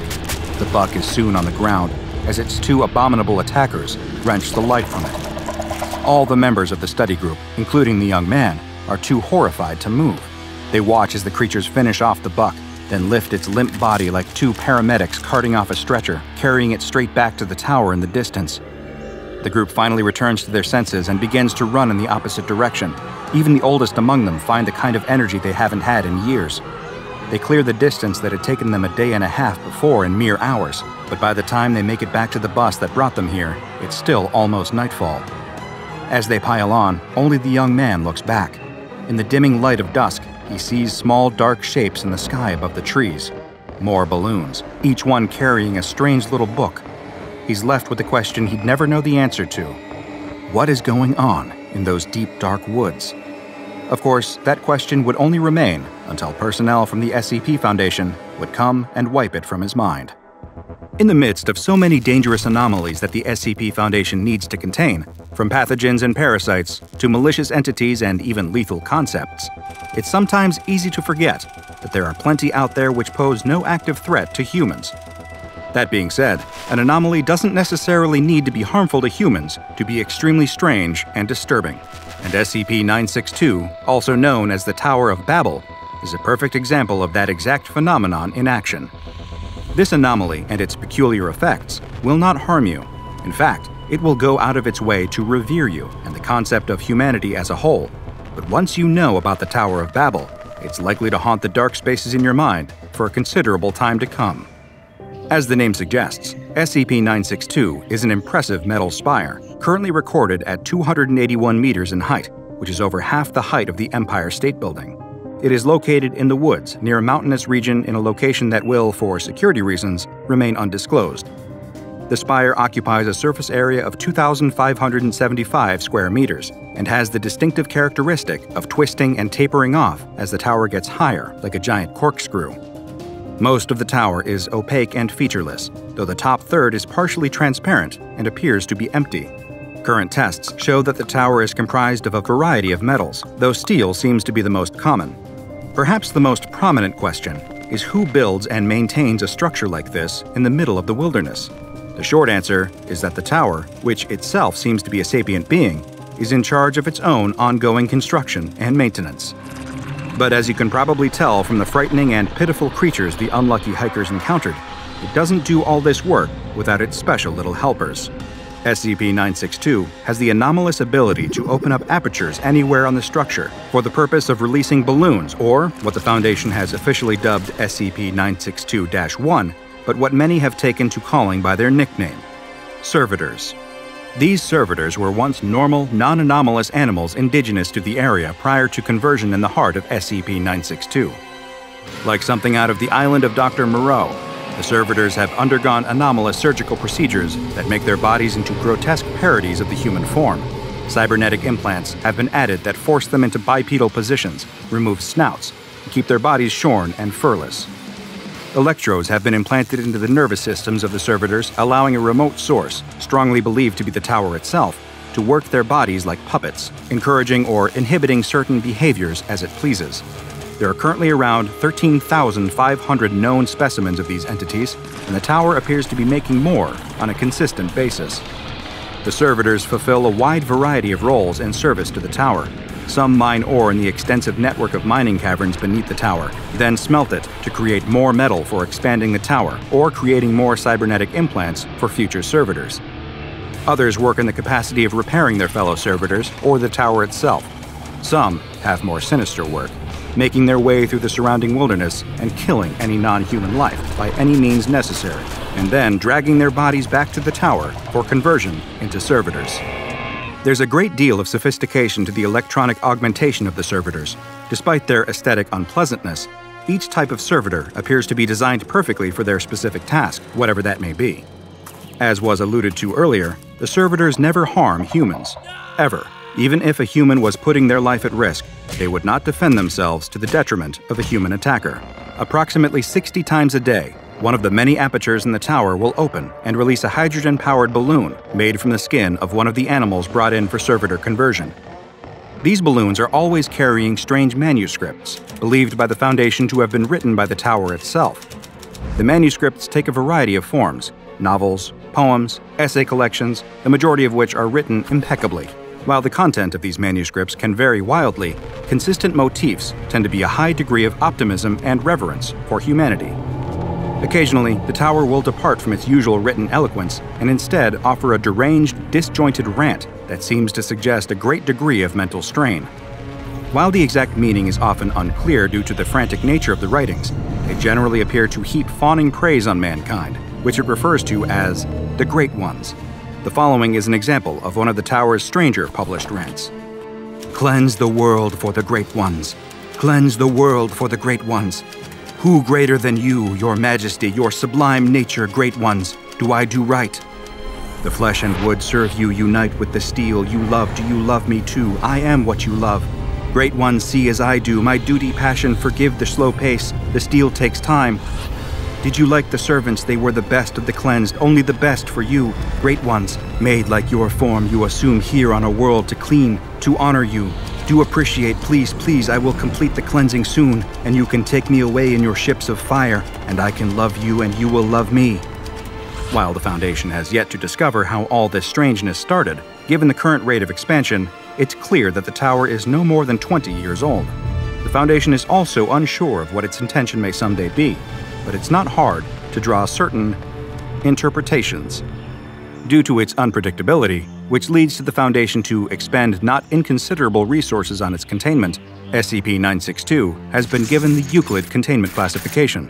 And because it's huge, remote, and immobile, the Foundation has made no attempt to move it from its current location, and instead have rerouted all containment resources to studying the anomaly and building a perimeter to prevent public interference. Anyone who attempts to enter the exclusion zone will be turned away by perimeter guards under the pretense of avoiding a hazardous nuclear waste containment facility. Anyone found within SCP 962's restricted area is given Class A amnestics to prevent any sensitive information spreading beyond the quarantine. In order to prevent the tower and its servitors from expanding the purview of their operations, the Foundation airdrops four live cattle and two tons of timber every week, so the tower is never short of raw material within its current parameters. Any balloons released by the tower are to be shot down and burned, and their manuscripts collected and filed at a secure SCP Foundation site for further study. If an escaped balloon is found by civilians, it is to be collected, and those civilians are to be given Class A amnestics. Anyone at the Foundation is permitted to read the manuscripts produced and distributed by the Tower, but they are required to file a formal request with the SCP 962 project director first. I've spent a few evenings myself reading them over a cup of tea, and they're certainly stimulating, if a little tragic. They represent one of the anomalous world's greatest examples of the grass always being greener on the other side, since after all, why would anything aspire to be human? Don't humans have enough of their own problems to attend to? A wasp stings a cockroach in the brain, rendering it a mindless zombie that she can lead to her home and fill with eggs that will hatch and devour the insect from the inside. A snail accidentally eats the eggs of a flatworm, and the eggs hatch, filling the snail's eye stalks with sacks of wriggling larvae. They mimic the movements of caterpillars, attracting hapless birds and enticing them to swoop down, attack, eat, and continue the life cycle of the worms. The spores of the cordyceps fungus make their way inside of a doomed ant, taking over its nervous system, puppeteering its body, and forcing it to march to the nearest highest point, only to die and split open, fungus blooming from its corpse and spreading spores to the next victim. Underwater, the sea louse settles into its new home inside of the fish's mouth, feeding on blood from the tongue until it withers away. There, the louse attaches itself in the tongue's place, serving as a mimic of the original organ, while the fish is none the wiser. Back on land, humans are not exempt. Nematode worm larvae infect the bloodstream through fly bites, hiding undetected until their host feels them wriggling beneath the cornea. Guinea worms enter the system when a person drinks infested water, growing longer and longer, then forcing their way out through the foot. Nature is full of terrifying parasitic creatures, but far scarier than the parasites we know about are the parasites that we haven't discovered yet. The creatures sneaking in and burrowing under the skin of their hosts without anyone even knowing they exist. After all, if you don't know something is there, how can you possibly hope to protect yourself from it? As a man hikes through the woods of the Pacific Northwest, he's thinking about repelling mosquitoes and pulling up his socks to stop ticks from latching onto his flesh. But he has no idea what else is lurking out here in the wild with him. He knows to look out for mountain lions and bears, to watch for signs of rabid animals, and avoid being bitten or scratched. But he doesn't notice the tiny, almost invisible flecks drifting through the air around him. He doesn't notice when one happens to get caught on the breeze of his inhale, pulled into his nostril. He rubs at his nose idly, sniffing to clear his airways, then turns his attention to a bird nesting in a nearby tree. All the while, something is taking root right under his nose. Well, actually, inside of it. But he doesn't feel a thing other than the occasional urge to sneeze. He does, sneezing loud enough to startle the bird he was observing moments ago, but it doesn't do any good. Sneezes are for clearing out dust and debris, foreign objects that wind up in the nose by happenstance. This new intruder is there by design, and it is holding on tight. The hiker continues the rest of his walk without a care in the world, taking deep breaths of fresh forest air and relishing the feeling of the breeze on his face. By the time he gets back home, he's made it out of the woods without a single mosquito bite, with nary a tick to be found in his meticulous pre shower check. That night, he sleeps soundly, and the next morning, as he goes back to work at his office job, all thoughts of the wilderness slowly drift from his mind. He goes about his ordinary routine for months, all the while carrying a hidden passenger with him from place to place, a tiny little thing steadily growing larger and larger, spreading spindly appendages out and up through the nasal passages, up toward the skull. One night, about six months after that fateful hike, the man is sleeping peacefully in his bed, dreaming of a sunlit forest clearing and the pleasant chirping of birds, when all of a sudden, he's jerked awake by a splitting pain in his head. His vision swims from the throbbing pain, and he clutches his face, pressing against his forehead. It must be a migraine, he thinks. He hasn't had one in quite some time, but this is clearly no ordinary headache. Eventually, the pain subsides, and he's able to drift back to sleep. But the next day, at the office, it returns. That same sharp pain radiating through his skull, like the worst sinus headache he has ever had. The persistent feeling of pain and pressure in his head becomes too much to bear, and he decides to take the rest of the day off of work and go to the doctor. Much to the man's relief, his doctor is not concerned. With no other troubling symptoms presenting themselves, the situation seems relatively straightforward. She writes a prescription for some migraine medication, then sends the man on his way. That night, when the headache returns, the man takes some of the medicine, and the cloud of pain clears. Sweet relief. Once again, things are good. For a couple months at least. But then, one day, on his morning walk to the office, just as he's lifting his travel mug of coffee to his lips, his vision cuts out. It's as if something is blocking his eyes, as if someone were covering them and preventing him from seeing directly ahead. But when he lifts his hand to feel his face, there's nothing there. Panicking at the sudden loss of sight, he drops his cup, spilling coffee all over the sidewalk. He doesn't even notice the spill, too busy grasping at his face and feeling his eyes with his fingers. He fumbles in his pocket for his phone, hoping he can remember where the numbers on the screen are well enough to call 911. But his hands are shaking so hard that he drops the phone, hearing it clatter on the pavement. He exclaims in frustration and fear and turns around following the sound of the phone. And as he turns, his vision suddenly clears, the blinders lifted, and he's able to see just as well as he did before. Experimentally, he turns back to face his original direction, and again he loses his sight, something blocking his view. He turns around, and he can see again. He tries this a few more times, spinning back and forth, back and forth, watching his vision flicker in and out. He only stops when a passing jogger shouts at him, asking what the hell he's doing.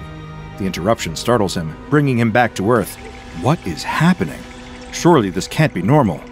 What is it about facing one direction that causes him to lose his sight, while another direction returns him to normal? A sinking feeling in his stomach tells him that whatever was causing his headaches before It was not something he should ignore any longer. He grabs his phone off the ground, calls out of work, and schedules an urgent appointment with his doctor.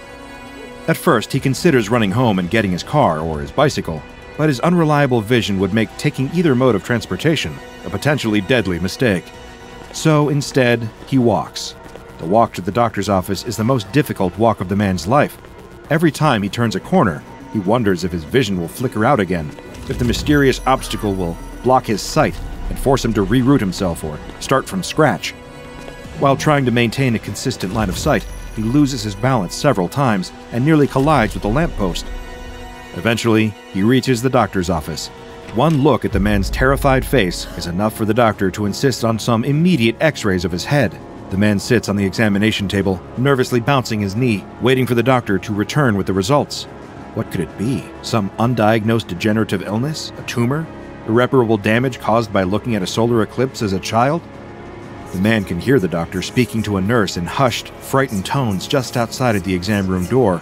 He can't quite tell what she is saying, but he makes out one word that makes his blood run cold infestation. When the door opens and the doctor enters holding the man's chart, her expression is neutral and professional, but her face is pale, her forehead dotted with sweat. She can't hide the fact that whatever she saw on that x ray, it horrified her.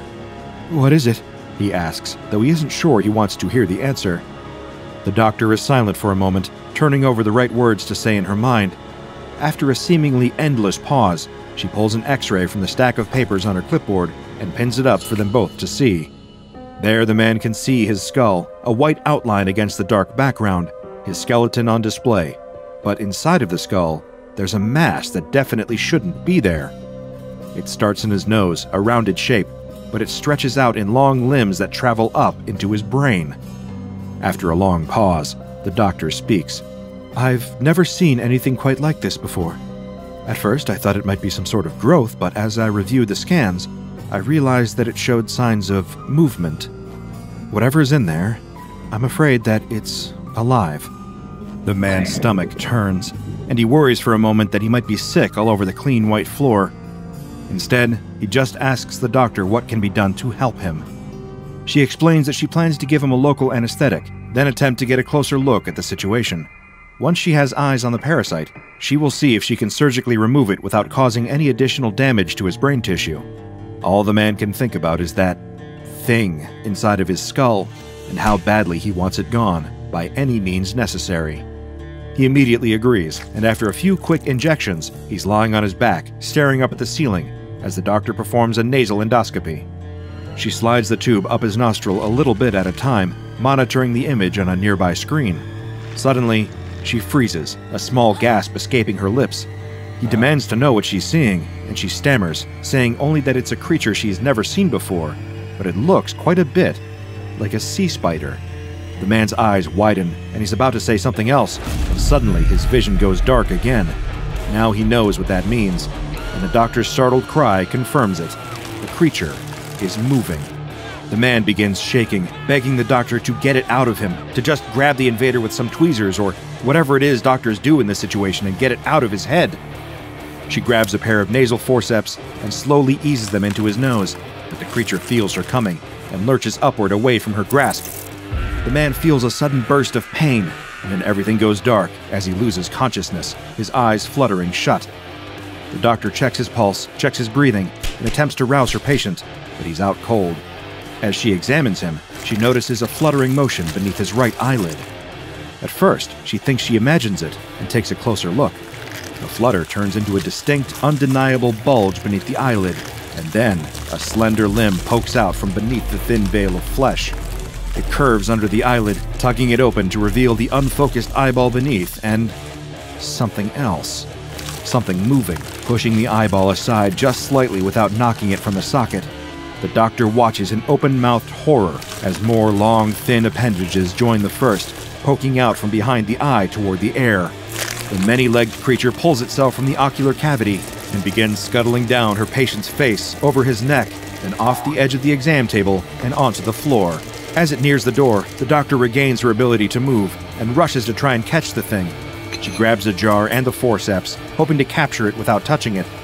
Even with gloves on, she shudders at the thought of touching the thing, It evades her grasp, darting away from her forceps.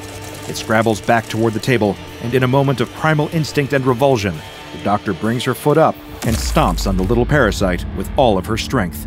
When she lifts her shoe, all that's left on the ground is a few spindly legs and a small brown stain. She curses herself for acting impulsively and not finding a way to trap the thing and keep it for observation, but that ship has sailed. The only thing she can do now is tend to her patient and monitor his well being. As she approaches the man on the table, his eyes open, and he gasps, sitting up suddenly and gripping his head. The man awakes with a headache and a foggy feeling in his head, but also with a sense of relief, a feeling that the unwelcome presence that took up residence in his skull for so many months is thankfully gone. He asks the doctor, haltingly, struggling to find his words, if she was able to remove the creature. She tells him simply that it is gone now. The man slowly climbs off of the table, and ignoring the protest from the doctor as she begs him to sit back down and let her examine him, he walks out of the office and heads back home. Over the next several weeks, the man returns to normal life. He feels a little bit different, a little hazier, a little slower to respond. He tires more easily, going to bed earlier and sleeping in later, but overall, he feels nothing but relief. Still, at night, when he tries to fall asleep, he thinks of those x rays. He imagines what that creature might have looked like when the doctor got it out, how it might have moved. He wonders where it came from, or if it will come back. He never goes hiking in those particular woods again. Meanwhile, the doctor receives an influx of patients complaining of persistent headaches. Sometimes it's a sinus infection, sometimes it's a hormone imbalance, sometimes it's stress. But a few times, well, she knows what to look for now. She tells her patients to watch out for changes in vision, for a feeling of pressure in their skull. She learns how to keep a straight face when looking at their x rays and seeing that familiar long limbed shape burrow deep in their nasal cavities. She puts her patients under now when she tries to remove the creatures. It doesn't make much of a difference, but it saves them the terror of the truth, saves them the feeling of the creature thrashing inside their head until it knocks them out. She manages to collect a few specimens for study and contacts her friend at the Centers for Disease Control He's never seen or heard of anything like these parasites either, but he does know someone who might be able to offer their expertise. When the doctor comes into work the next day, there are two strangers waiting in her office. They introduce themselves as employees of a specialized research foundation and ask to see her samples. The next thing she knows, the doctor is waking up in bed the following morning, and she has no memory of ever seeing a patient with a strange spidery parasite in their skull. If she remembered enough to look for the records, she would find that they had disappeared from her office, along with the living specimens she had collected. But she doesn't remember, and her discovery is now in the hands of the SCP Foundation, who have given it an official designation SCP 1104. SCP 1104, commonly nicknamed nose crabs, is a species of organism tentatively identified as a member of the order Chelicerata, which includes sea spiders and horseshoe crabs. The life cycle of the organism consists of at least two phases. The first of these is a larval stage, at which point the creature is approximately 0.4 millimeters in diameter. At irregular intervals, SCP 1104 larvae are expelled from tubes at a concentration of up to 200 per cubic meter.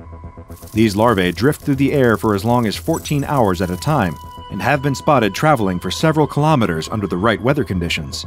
Whenever an SCP 1104 larva is inhaled, it will attach to the nasal mucosa of its host and begin to excrete H1 receptor antagonists that suppress inflammation as well as the implantation of any further larvae. Over the next 6 to 8 months, SCP 1104 will grow larger, extending appendages through the ethmoidal canals of the host. Aside from occasional persistent headaches, the host will likely not notice the presence of SCP-1104 during this period. Once the organism has matured, however, it will begin to apply pressure to its host's optic nerves, causing its central visual field to be obstructed. SCP-1104 will apply this pressure selectively whenever the host is not oriented toward the gradient of atmospheric hydrogen sulfide. SCP-1104 can detect this hydrogen sulfide through its host nasal respiration.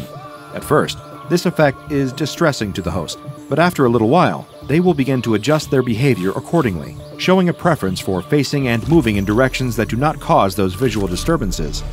Without realizing it, the host is moving closer and closer to higher concentrations of hydrogen sulfide. Once the host reaches an area with sufficient hydrogen sulfide concentration, SCP 1104 will extend its appendages into the host prefrontal cortex, causing the host to lose consciousness. While the host is passed out, SCP 1104 will exit through their ocular cavity.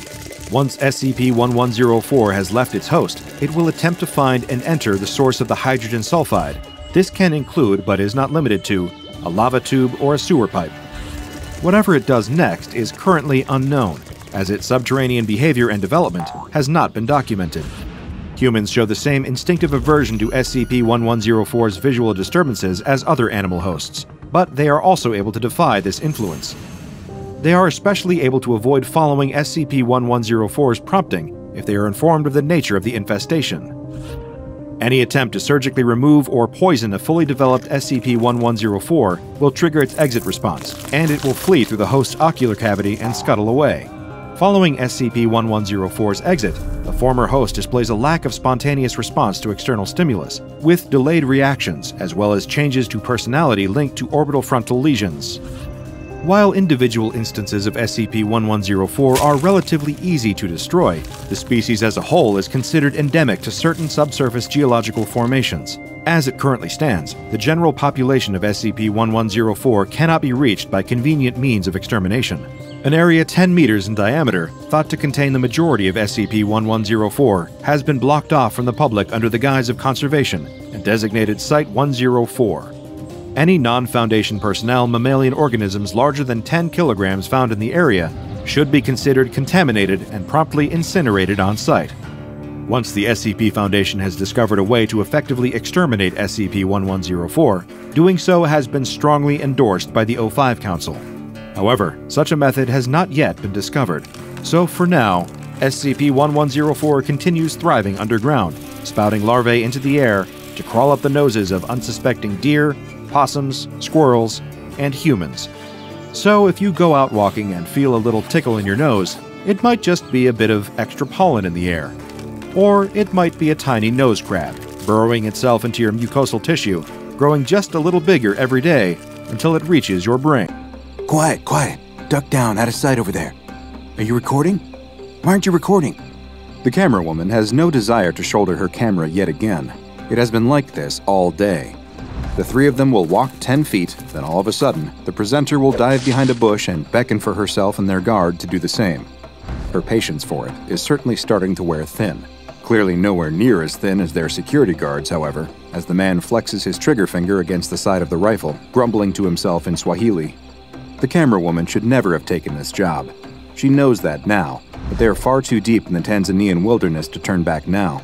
They parked their Jeep up in the early hours of the morning and started walking at sunrise. The faint blue tinge to the dark forest around them tells her it must be almost sunrise again. The presenter turns to her and runs a hand through his carefully sculpted hair.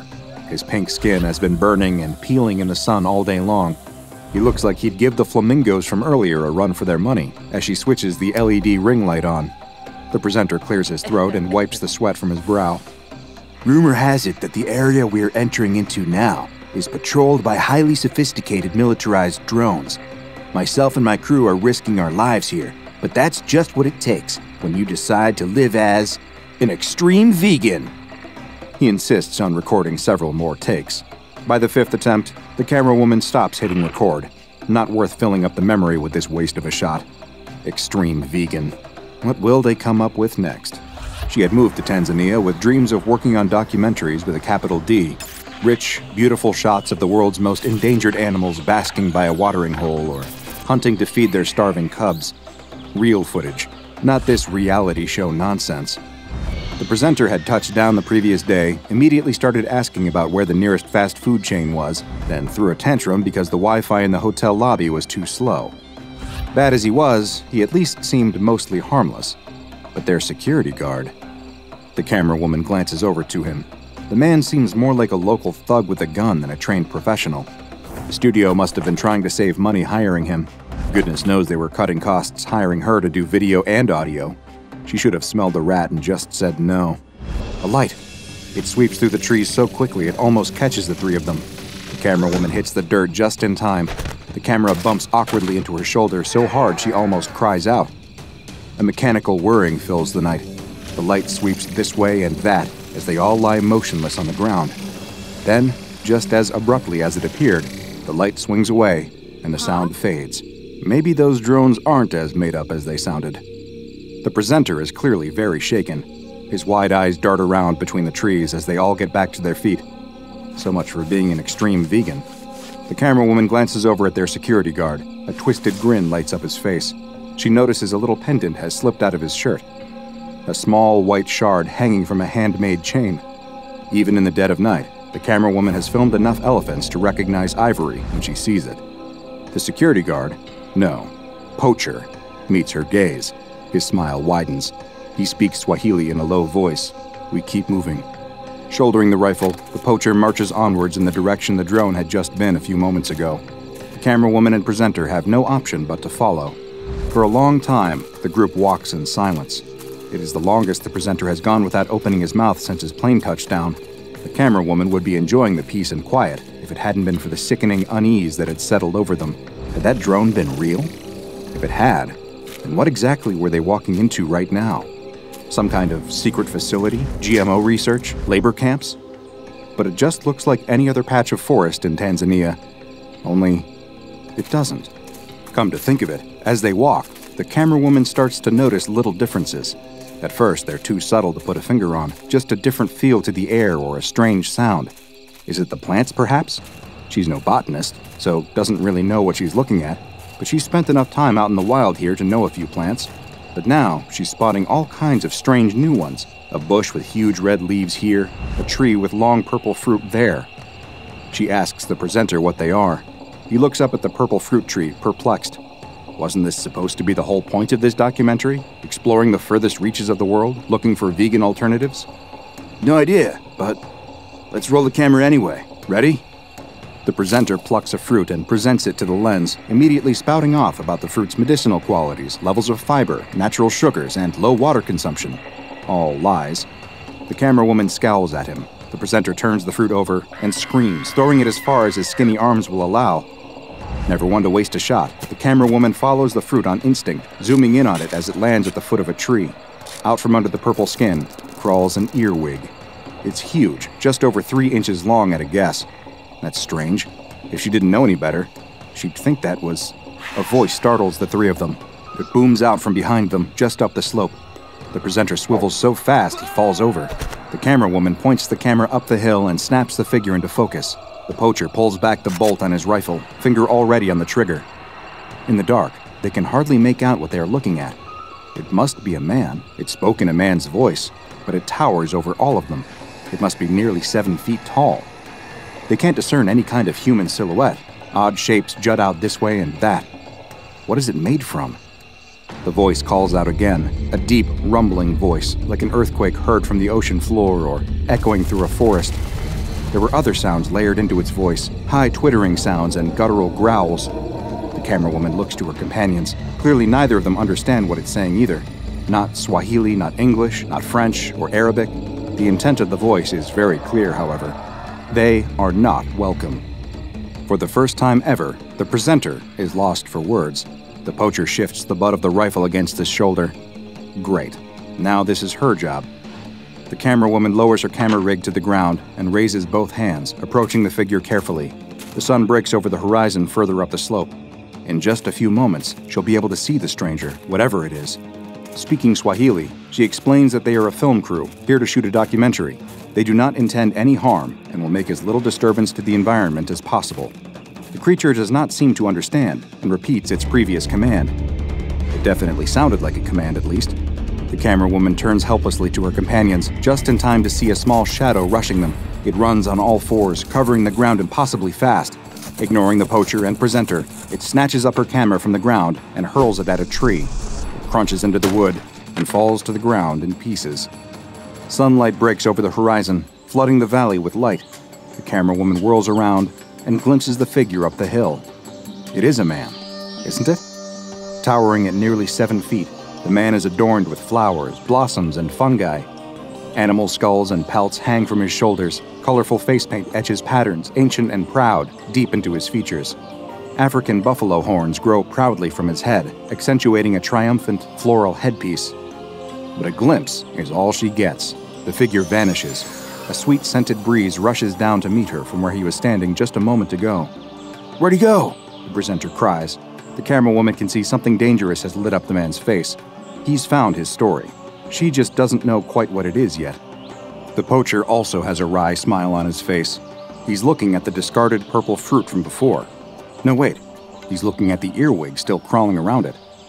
She follows his gaze, and it confirms her suspicions from before. That's a St. Helena earwig, sure as the daylight streaming onto its scuttling legs. Declared extinct in 1967. The presenter is already marching off, further down the valley.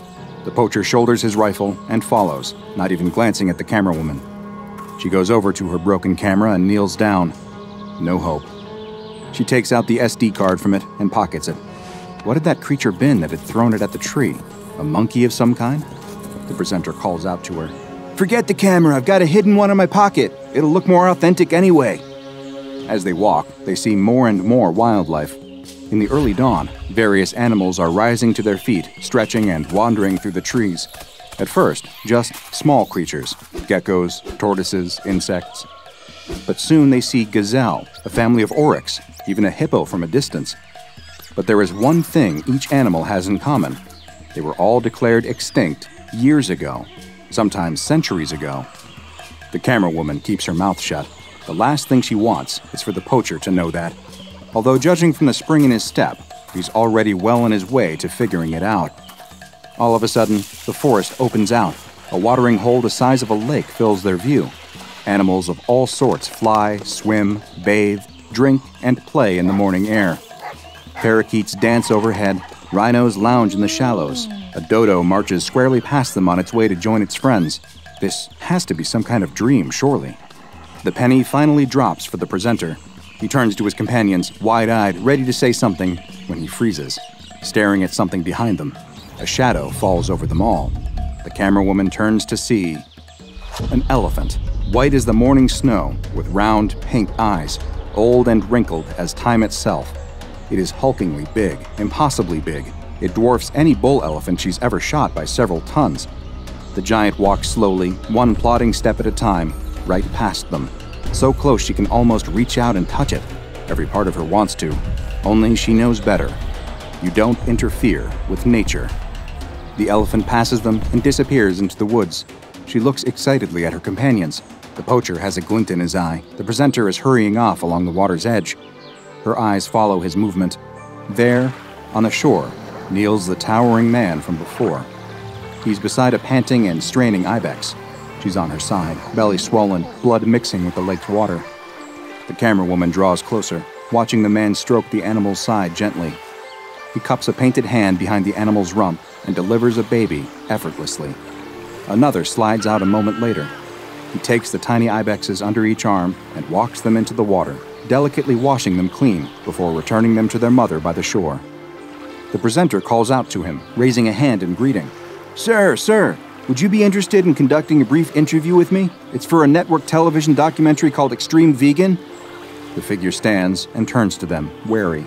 The two of them stand before him, separated by just a few feet, extinct animals chattering and cheeping all around them. In order to maintain such an eco friendly lifestyle, you must be having a lot of plant based alternatives in your diet. Oat milk, corn, avocado, what's your secret? As if on cue, a buffalo emerges from the water and approaches them. The man stoops, not taking an eye off the presenter, and reaches under the buffalo's body. Finding the teat, he squeezes milk into his cupped hand. He raises his hand to his mouth and drinks slowly, staring the presenter down. After a moment, he squeezes more milk into his hand and stretches it out towards them. He says a word in that same ancient voice, only this time, it is softer, welcoming. Uh uh no way.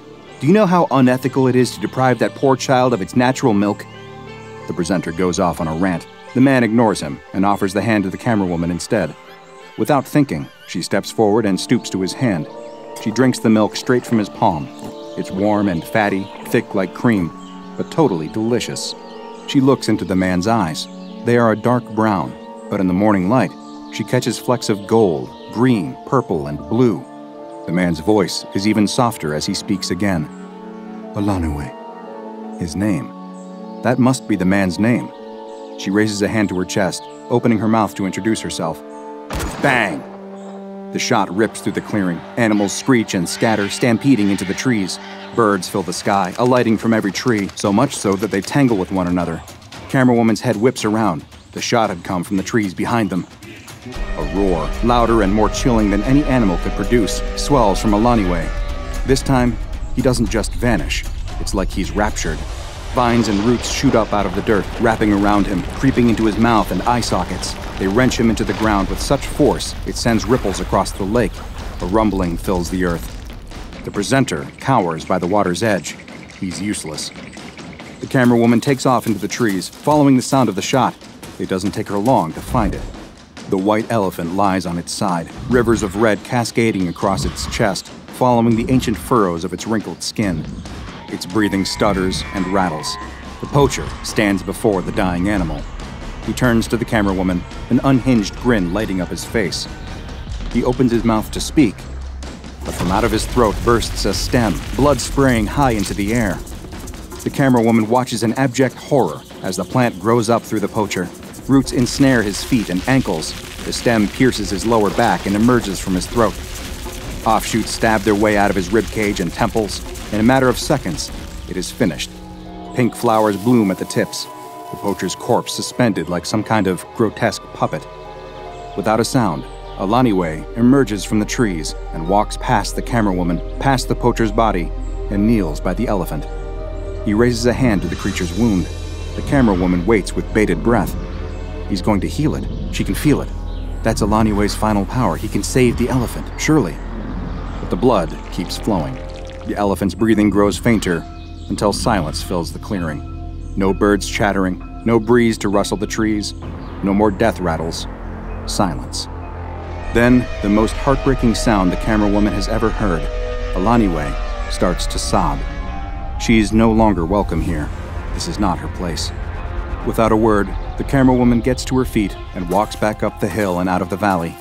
As she walks, she hears footsteps approaching her.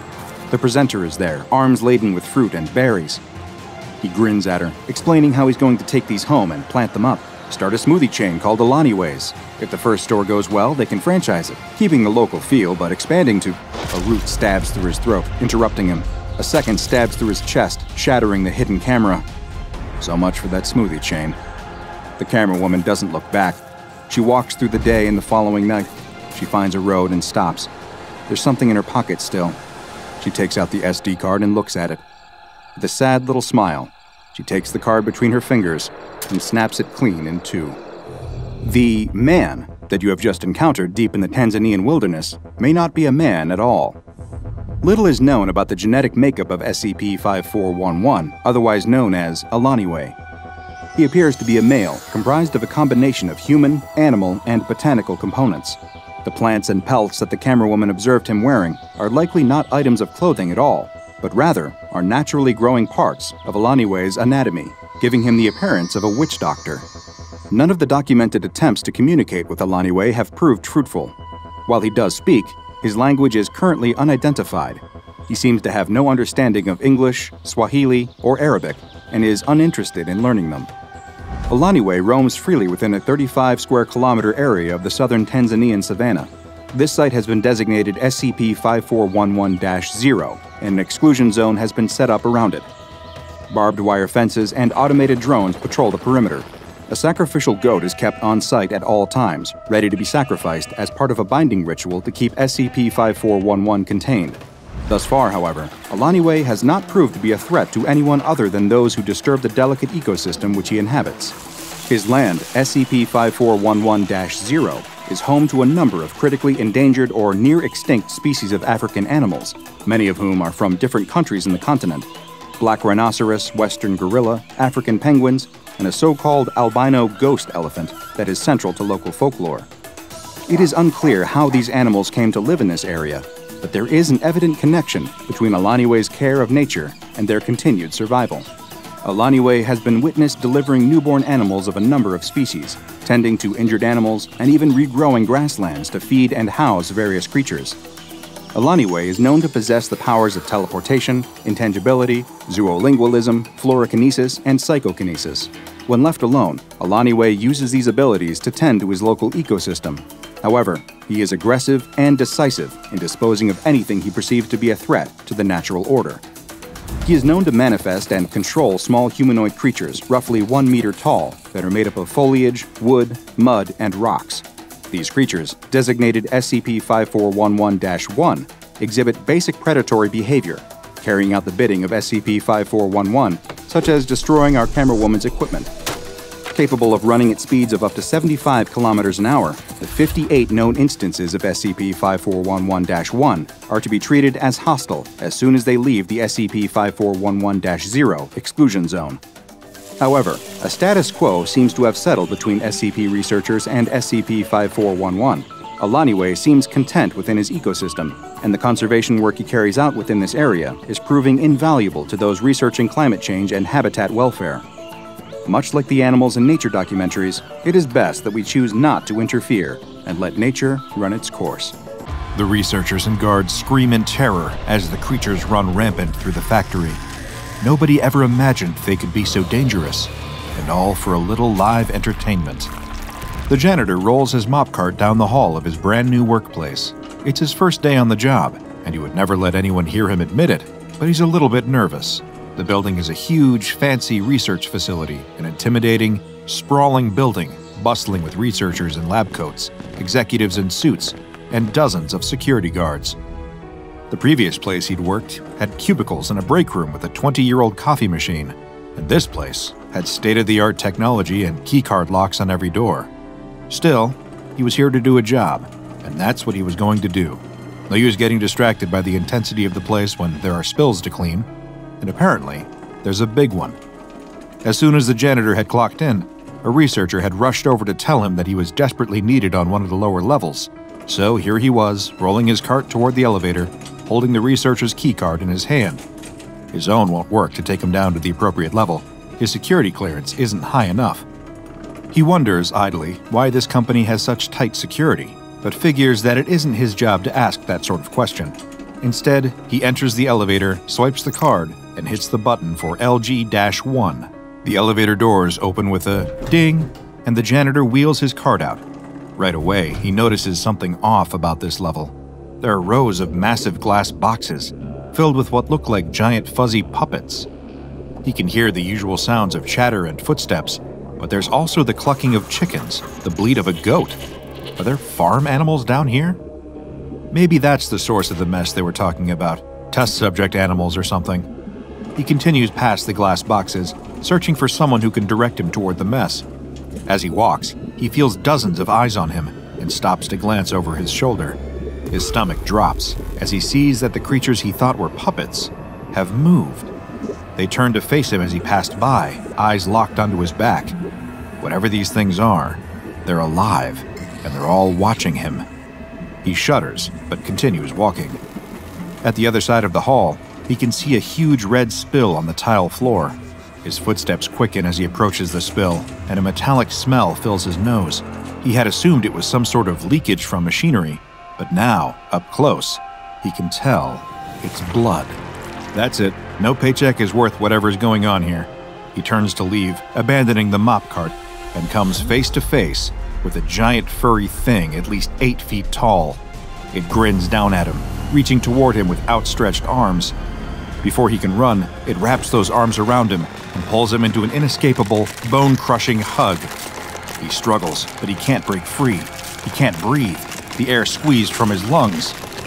In a halting, inhuman voice, the monster says, Teamwork makes the dream work. Then, everything goes black.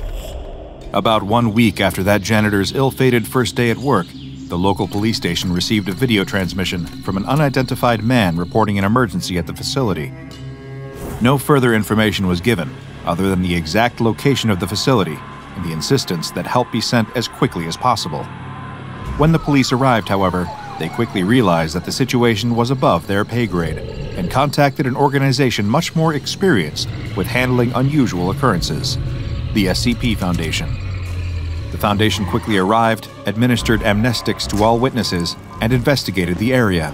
There, they found something unlike anything they had ever seen before And for the SCP Foundation, that was saying something.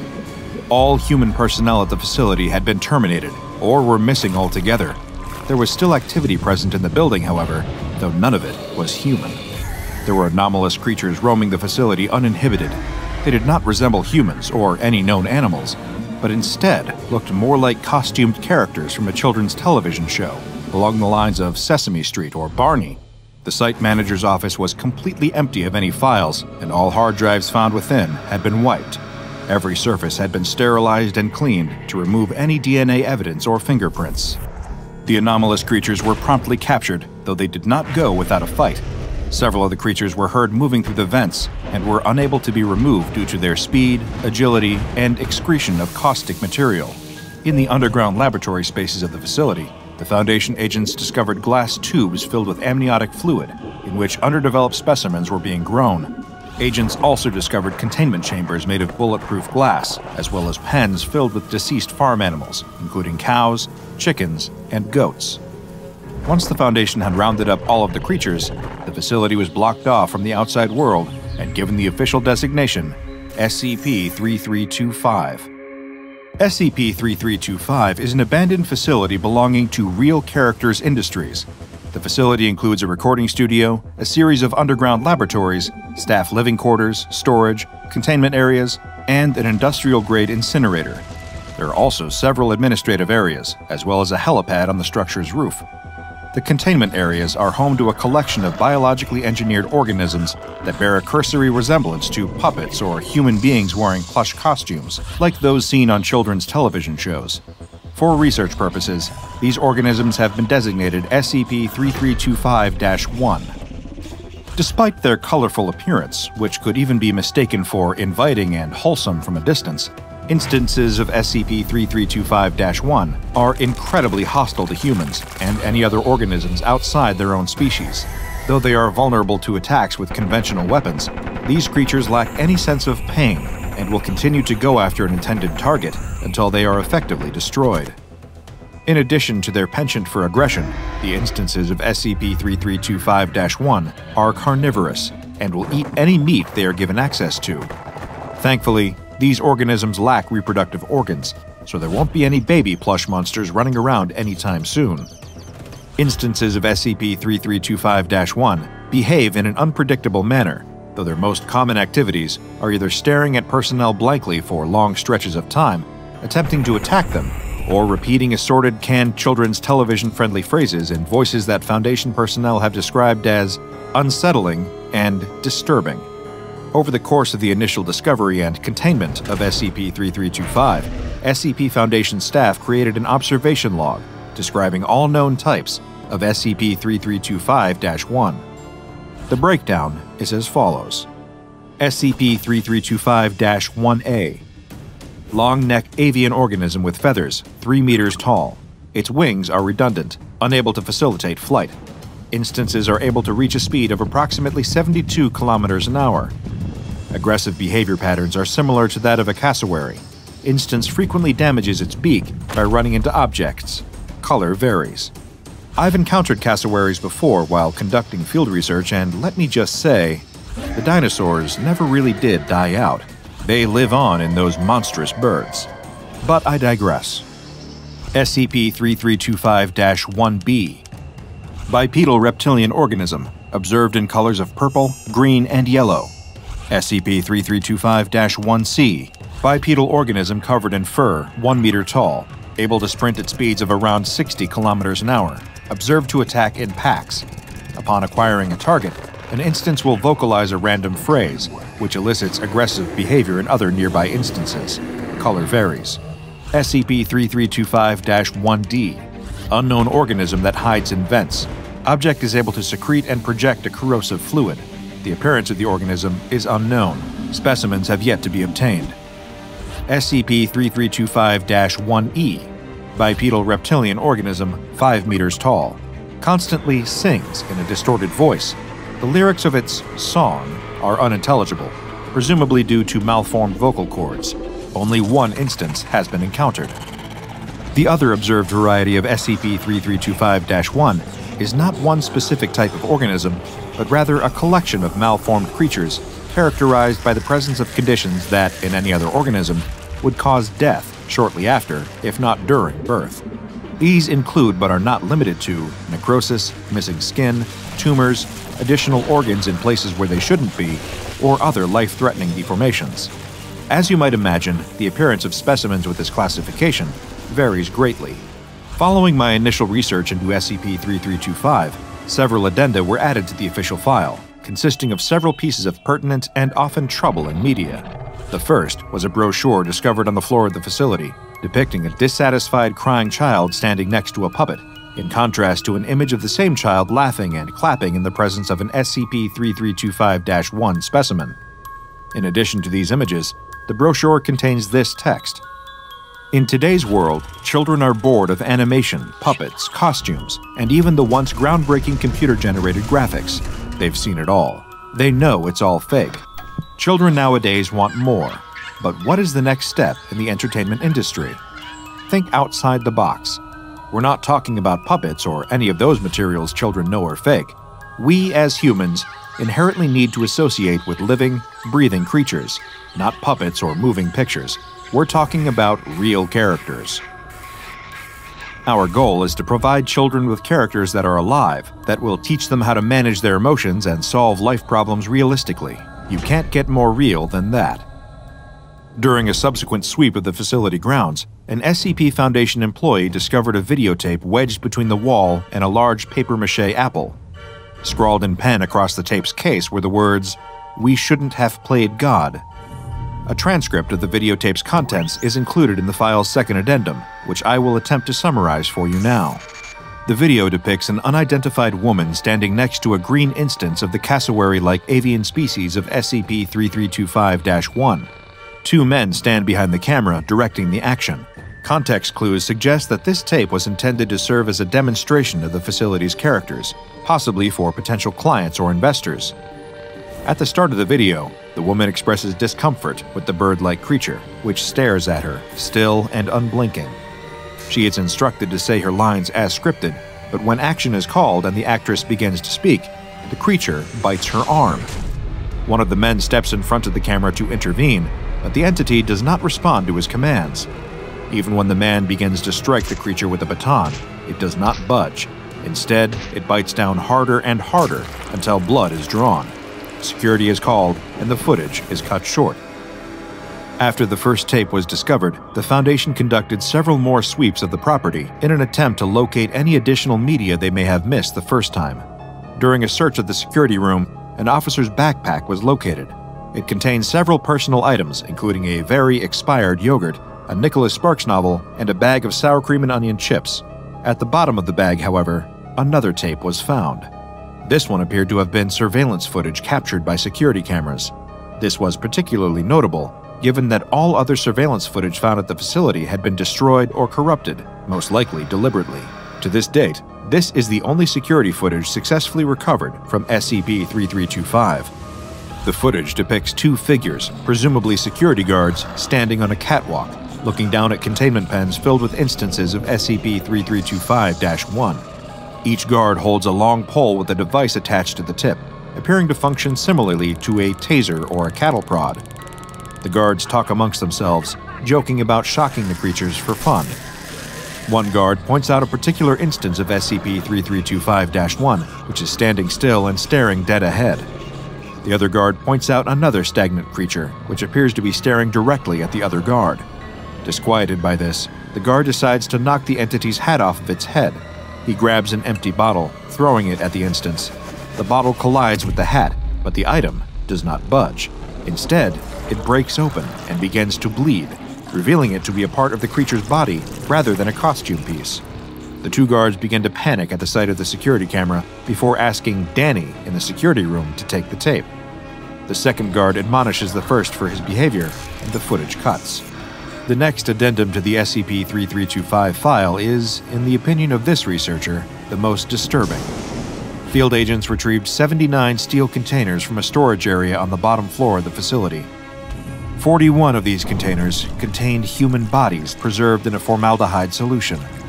Additionally, each container had documents attached detailing each person's name and position at the company, as well as the cause of their death.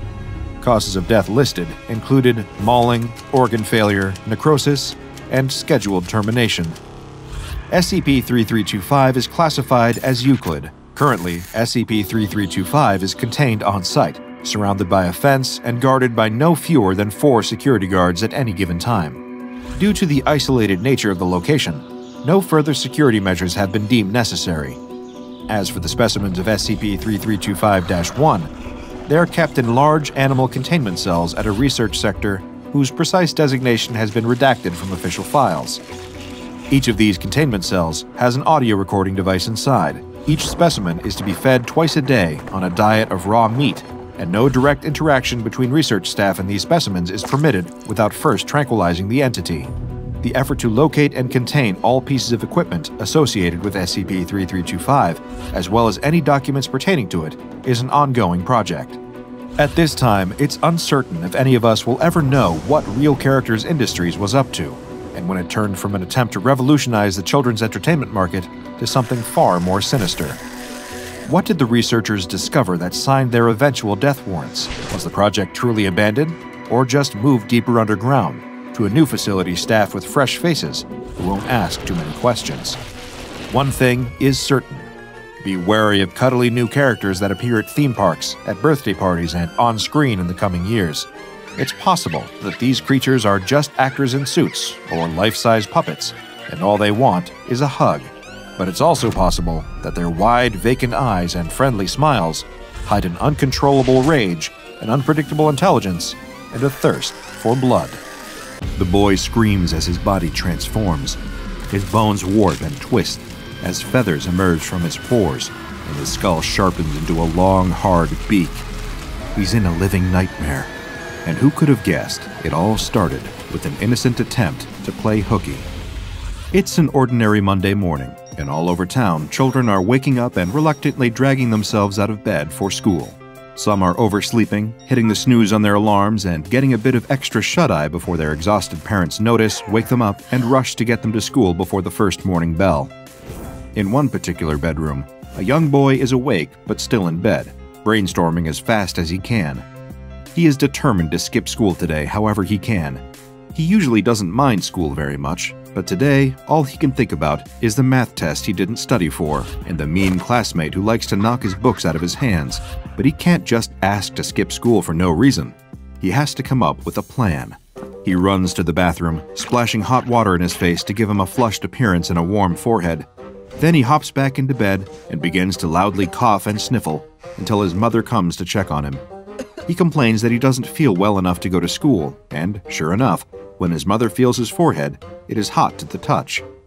She agrees to let him stay home from school for the day, provided he stays in bed and gets plenty of rest. He promises that he will, and she leaves to go to work. On her way to work, the boy's mother remembers that there isn't much for him to eat while he's home alone all day. At least, there isn't much that he would want to eat while he's sick. She decides that she can be a little bit late to work for the sake of her son's health and pulls into a nearby grocery store. She rushes out of her car and into the store, making a beeline for the soup aisle. She reaches for her usual go to brand of chicken noodle soup, but finds the shelf completely bare. That's right, it's flu season. Of course, the soup is sold out. Oh, great, this is exactly what she needs a sick kid at home, one can of chicken noodle soup left at the store, and the machine won't even scan it. She smacks the side of the machine in frustration, and the screen reads invalid code, transaction cancelled. With a heavy sigh, she glances over her shoulder. No one is watching.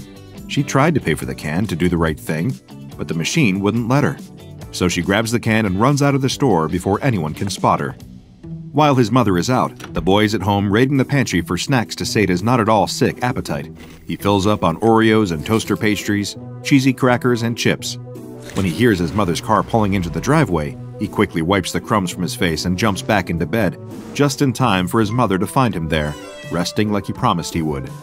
She gives him a kiss on the forehead and tells him that she'll heat up some chicken noodle soup for him to eat. She's in a hurry to make it to work, though, so she'll need to leave it in the microwave for him. She pours the contents of the soup into a bowl, adds a bit of water, and pops the bowl into the microwave for a few minutes. She calls up to her son, letting him know that the soup will be ready when the microwave dings. Then she rushes out the door and heads to work for the day, confident that her son will be fine through her shift. If he happens to need anything, he can call her and let her know. The boy hears the microwave ding, but his stomach is too full from his rummage through the pantry for him to want any of the soup, in spite of its heavenly aroma. Instead, he creeps into the living room and sits down to play video games until his eyes start to hurt. As he boots up his gaming system, he thinks for a moment that he can hear a strange noise coming from the kitchen a soft, clucking sound, like the chickens he saw on his grandparents' farm. But he quickly forgets about the sound as the screen lights up and he disappears into the world of his favorite game. He plays for hours until the grumbling of his stomach interrupts his concentration. He's suddenly very hungry and remembers the soup his mother left in the microwave. It is certainly cold and unappealing by now, but he can just reheat it first. He punches the buttons on the microwave and waits for the soup to be ready. Again, he can hear strange noises coming from the microwave, but he doesn't think anything of it. The microwave dings, and he pulls out the bowl of soup, grabs a spoon, and digs in. A little while later, the boy's mother pulls into the driveway in a panic. She left work early when her phone rang with a call from her son. She answered, asking what was wrong, but he wouldn't answer her. All she could hear on the other end was rustling, heavy breathing, and some pained grunting. Fearing the worst, she drove back as fast as she could, running several red lights along the way. Now she fumbles with her keys as she unlocks the door, terrified of what she will find. She grips her phone in her other hand, thumb hovering over the buttons, ready to dial 911 if the situation calls for it. She pushes the front door open, calling her son's name. He doesn't answer, and her stomach drops. Suddenly, she hears the loud thud of something heavy being knocked to the ground. Something is terribly wrong here, and even though she might find her worst nightmare, she has to face whatever is waiting for her inside. She runs into the kitchen and finds it a mess. The bowl of soup is shattered on the floor, congealed, cold soup pooling on the tile. The kitchen table is turned over on its side. The kitchen chairs are in disarray. But the strangest sight is the dozens of tiny, white, fluffy things on the floor, counters, and furniture. She picks one up for a closer look and finds herself even more confused than before. It's a feather. They're all feathers. She calls her son's name again, praying for a response. This time, she receives one, though not the one she hopes for. She hears the sound of shuffling footsteps up above, followed by a strangled sound like a scream caught in someone's throat. She sprints up the stairs as fast as her legs can carry her, throwing open the door to her son's bedroom. There, she finds him. But this is not the bright eyed boy that she left behind when she left for work. His arms are covered with a thick layer of white feathers, the same feathers that are beginning to poke through the skin of his face. The top of his head has elongated into a floppy comb of excess skin, the same sort of excess skin that is wobbling below his chin. And his mouth, it doesn't look like a mouth anymore. It's pointed and hard, and his lips click together when he speaks, or rather, clucks. His bare feet are scaly and red, with claws protruding from his toes. He flaps his wings frantically, eyes wide and wild, clucking and running back and forth across the room. When he looks at her, she does not see recognition in his gaze. Her son, her beloved boy, has turned into a chicken. Unable to do anything else, the mother calls an ambulance. At first, the paramedics that arrive on the scene think the call was some sort of elaborate prank, but when they set eyes on the boy, they agree that something truly bizarre is going on. They speed to the hospital with the chicken boy in tow, but sadly are unable to save his life. The mother turns over the can of the mysterious soup to the authorities, who launch a formal investigation. Unfortunately, they are unable to trace the can to any store, nor are they able to verify the existence of the company name on its label. Employees of the grocery store where she found the can insist that they have never seen it in their lives. Several weeks after this incident occurred, the SCP Foundation conducted a raid on a New York office of Marshall, Carter, and Dark. For those of you unfamiliar with the organization, and that is most of the general population by design, Marshall, Carter, and Dark Ltd. is an extremely powerful multinational corporation founded by three individuals with those surnames, specializing in the acquisition and sale of anomalous items, entities, and experiences. To put it simply, they run the largest anomalous black market in the world and are the crime bosses of the paranormal world. During this particular raid, SCP Foundation operatives recovered 17 different unusual items. Among the items discovered was a shipping crate recently delivered by the Federal Postal Service from an invalid return address. This crate contained 103 cans of SCP 2057, as well as a copy of a letter written to one of the company's associates. So far, The letter has not been traced to an address. It reads Dear Cyrus, Maria has told me of the unfortunate circumstances that have befallen your children. I had hoped to hear about the improvement of their condition soon. As their godfather, I am extremely distressed to hear this. Having experienced a child suffering from the measles myself, I know how terrifying it can be when it seems as if they are getting worse. Recently, we received a shipment of something that I hope can help your family. There is a crate in the storage area marked with Wondertainment, discontinued item. It will not be there long, as it goes to auction next week. I will leave a key under the photo of your family on your desk. Follow the instructions exactly. Do not, under any circumstances, do anything different than what is directed on the can. Destroy this message as soon as possible. I do not want any of this to come back on us. Be careful, my friend. Williams. SCP 2057 consists of 92 318 milliliter cans of condensed chicken noodle soup. Each can is covered with a brightly colored label depicting images of noodles, a cartoon chicken, and dancing vegetables. In addition to this inviting imagery, each label is emblazoned with the text Dr. Wondertainment's Ultralicious Chicken Noodle Soup for Kids. Each can has a pull top lid for easy opening and is printed with a set of nutrition facts, ingredients, and instructions for heating. The nutrition facts are as follows calories 95, fat 3.17 grams, carbohydrates 2.2 grams, protein 13.48 grams, vitamin W 2 grams, and mother's love 10 grams. The SCP Foundation attempted to analyze the contents of the soup in order to compare it to the posted nutrition facts. The calories, fat, carbohydrates, and protein were found to be accurately reported. Vitamin W was present in the reported amount as well, though it was not a compound that the Foundation scientists had ever encountered before. Mother's love, as it is an intangible concept, was not able to be identified or measured in the analyzed soup samples. The ingredients are listed as ultralicious chicken stock, enriched Chinese egg noodles, finest cooked chicken breast, farm fresh carrots, crispy crunchy celery, sweet Vidalia onions, no paint thinner, fresh mountain spring water, vitamin W. Contains less than 2% of the following ingredients a pinch of salt, a smidgen of chicken fat, sprinkle of spice extracted from rare plants, a dash of high quality unicorn tears. The instructions for heating read Hey kids, feeling sick, icky, or downright yucky? Just pop open a can of Dr. Wondertainment's Ultralicious Chicken Noodle Soup for Kids. Place contents of the can in a medium sized soup pot. Add a can of water, stir, and heat. Watch as the fun begins. Eat hearty, and you'll feel better and ready to play with Dr. Wondertainment toys in no time. All of this is relatively straightforward, give or take a few unusual ingredients. Someone taking only a quick look might mistake a can of this soup for any other chicken noodle soup. However, it does have something that most ordinary canned soup does not a warning label. Dr. Wondertainment's Ultralicious Chicken Noodle Soup for Kids is intended to be eaten while it is hot to make you feel better in no time at all. Do not consume after it has become cold. Do not reheat. By purchasing from Dr. Wondertainment, you agree to not hold Dr. Wondertainment or any of Dr. Wondertainment's affiliates accountable for injuries or damages incurred by your product. Thank you for purchasing from Dr. Wondertainment.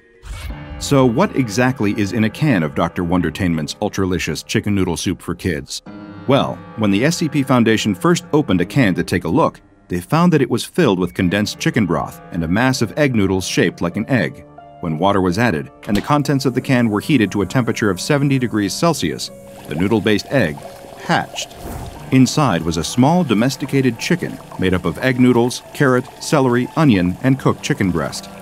For simplicity's sake, this chicken noodle soup chicken is referred to as SCP 2057 1. As the Foundation researchers continued to heat the broth to a higher temperature, SCP 2057 1 began to move around, make audible chirping sounds, and eat the broth. As it ate, it grew larger and larger until it reached a mass of 85 grams and resembled a miniature adult chicken. At a temperature between 35 and 70 degrees Celsius, SCP 2057 1 behaved much like an ordinary chicken. It continued to behave normally even as it was consumed or cut apart, apparently feeling no pain or awareness of its situation. Dissection of SCP 2057 1 revealed that its insides were made up of soup ingredients, including celery and onion bones, cooked chicken breast muscles, carrot beak and legs, and chicken broth blood. When SCP 2057 1's temperature dropped below 35 degrees Celsius, it stopped moving and collapsed into the soup. At a temperature below 20 degrees Celsius, it became congealed and unappetizing. With these observations completed, the Foundation then attempted to measure the effects of this unusual chicken soup on a person that ingested it. When test subjects were fed samples of the soup at a temperature between 35 and 70 degrees Celsius, they had a very positive experience.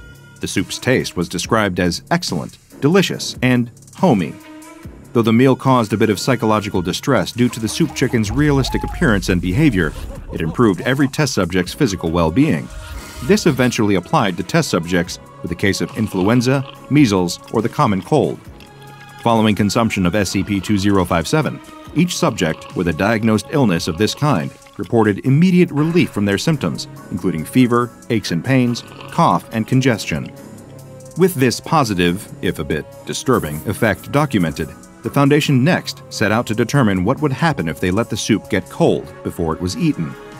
Test subjects served this version of the soup had a far worse experience, describing the taste of their meal as bland, disgusting, and repulsive. 67% of the test subjects experienced cramps, chills, and diarrhea following their consumption of the soup, and 62% found themselves making involuntary clucking noises, as well as experiencing a strong aversion to poultry products. Again, several test subjects were deliberately selected based on their cases of influenza, measles, and the common cold. These test subjects immediately began to develop troubling symptoms, including the growth of pin feathers on their forearms, loosened excess skin on their heads and under their chins, a change in their ability to walk normally, and distressing hallucinations of being hung upside down by the ankles. Following these two rounds of testing, the research team decided to see why exactly the warning label advised against reheating the soup.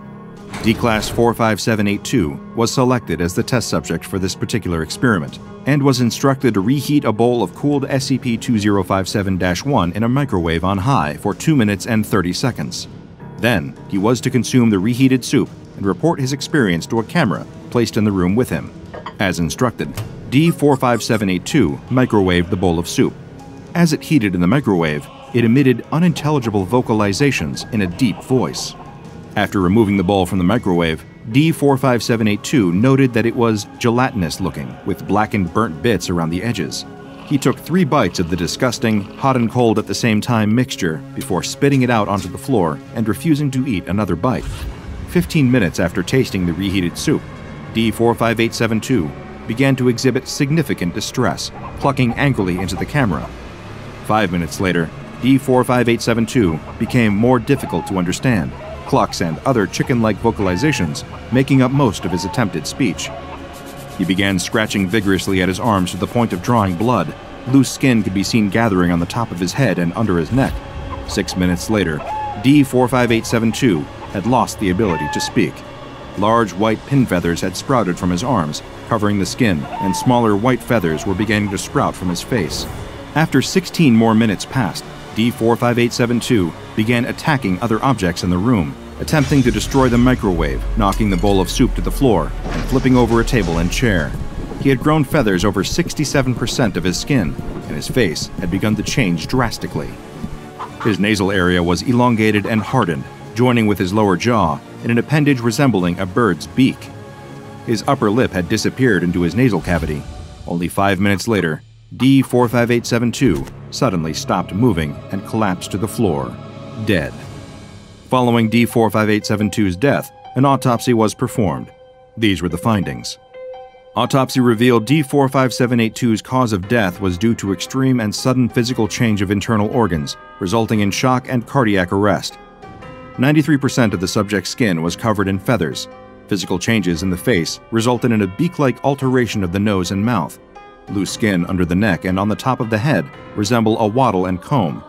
Subject's lower legs were found to be covered in thick, scaly skin, with the toes of the subject's feet ending in small, rounded claws. The subject and instance of SCP 2057 1 were incinerated after testing and autopsy. Whenever not being used for approved experimentation, all cans of SCP-2057 must be stored in a standard, large-volume storage locker in Containment Area 27 and kept at a temperature of 25 degrees Celsius. Because SCP 2057 is in limited supply, all experiments must first be approved by at least two personnel with 2 1103 clearance, as well as receiving the go ahead from Dr. Applegate. There are still 41 cans of Dr. Wondertainment's chicken soup unaccounted for, and the Foundation has been unable to track them down so far. Who knows where they ended up? Maybe at another office of Marshall Carter and Dark. Or maybe, just maybe, one made its way onto the shelves at your local grocery store. Best to be careful out there. When you're feeling sick, hungry, or in need of a little pick me up, there's nothing quite like a steaming hot bowl of chicken noodle soup. Just make sure to read the label carefully and always follow the printed instructions. If you ignore them, you might just find that your chickens have come home to roost. After all, as the saying goes, you are what you eat. There are no streetlights on this stretch of the old narrow road which runs through a rural part of West Virginia. A car has gone off the road into a ditch and needs to be pulled out. A common task for this tow truck driver, and he's often in the area doing similar jobs, though he's never been on this particular road, and he has to keep his eyes peeled for any signs or other markers that might give him an idea of how close he is to his turn. He spots something up ahead, but as he gets closer, he sees that it isn't a road sign, it's a billboard. As he passes by, he can make out the weathered lettering advertising a diner 20 miles down the road that's probably been closed for at least as many years. As he continues driving, he sees more dilapidated billboards, advertising other long since shuttered businesses like gas stations and auto body shops. But then he sees one on the road ahead of him that's nothing like the others. This one doesn't look old at all. In fact, it looks quite new. He drives by and has to question if he saw it correctly. It seemed like all it said was, Get away, over and over, and then the name of a road. Is that an invitation or a warning? It wasn't even clear what kind of business it might be advertising. He continues driving, but he can't quit thinking about that strange sign. He even feels compelled to turn around so he can get another look at it. But there's no need, because as he rounds a curve, there's another of the same sign. This time he slows down as he passes to get a better look, and he was right. It just says, Get Away multiple times with the name of a road Wagriwa Road. Must be Native American or something. Now he really can't get the billboard out of his mind. What does it mean? What is it advertising? And why is there a third one of them just ahead of him? He pulls his truck to the side of the road, stopping with his headlights illuminating the sign. He gets out of the truck and stands in front of the billboard. It's just the same as the others. Get away, written over and over. Wagriwa Road. He can see now that the background of the sign is a picture of some trees on a gray, cloudy winter day. He also notices for the first time that there's another line at the bottom. Find what you are looking for. What does it mean? Find what you're looking for on Wagriwa Road? Where even is that? There's no directions, no address, no phone number. He takes a step back from the sign and looks up and down the darkened road. What is he doing out here on the side of the road? Someone is stranded in a ditch waiting for him and he's staring at a billboard? He gets back into the truck, puts it in gear, and drives away. As he continues down the tree lined rural road, though, he inevitably finds his thoughts turning back to the signs. Get away. But find what you're looking for? Doesn't make any sense. Or are you supposed to get away to Wagriwa Road? Who would put these up? And why do they look so new? Everything else out here looks like it's for a business that shut down years ago. What are they trying to. He suddenly slams on his brakes and comes to a screeching stop in the middle of the road. His eyes are locked on what's in front of him. His headlights aren't lighting up another billboard, though. This time, it is a worn road sign Wagriwa Road. He can't help it. He has to know what's down this road. He has to know what these signs are about. The stuck driver can wait a few minutes longer. He turns his truck onto the narrow gravel road and drives for a few hundred yards, following it around a couple of bends as it winds through the trees until it abruptly ends. There's nothing out here no buildings, no signs, just what looks to be a dirt path leading deeper into the woods. The tow truck driver switches off the ignition, and the road is plunged into darkness. He reaches under his seat and takes out a flashlight before getting out of the truck.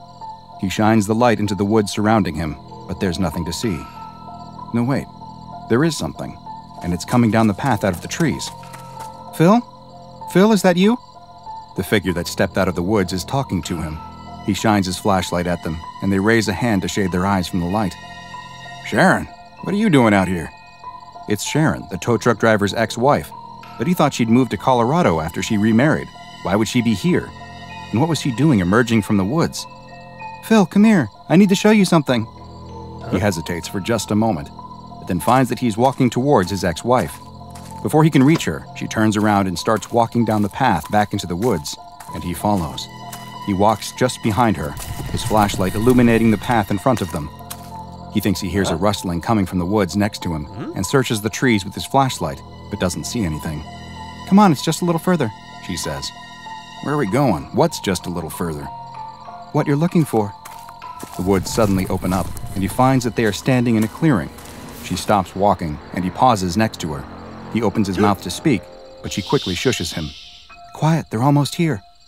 The tow truck driver looks around, but he doesn't see anything, just the faint outline of trees that are barely visible on this moonless night.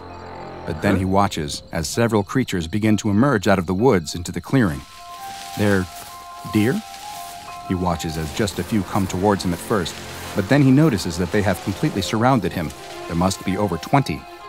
Turn off your light, she tells him. He obeys, and in the darkness, he can see now that there is something special about these deer. Their eyes are glowing with a pale white light. One of the smaller deer steps forward and cautiously approaches him. He squats down and holds his hand out, showing it that he means it no harm. The deer looks back nervously at a larger one that he thinks must be its mother.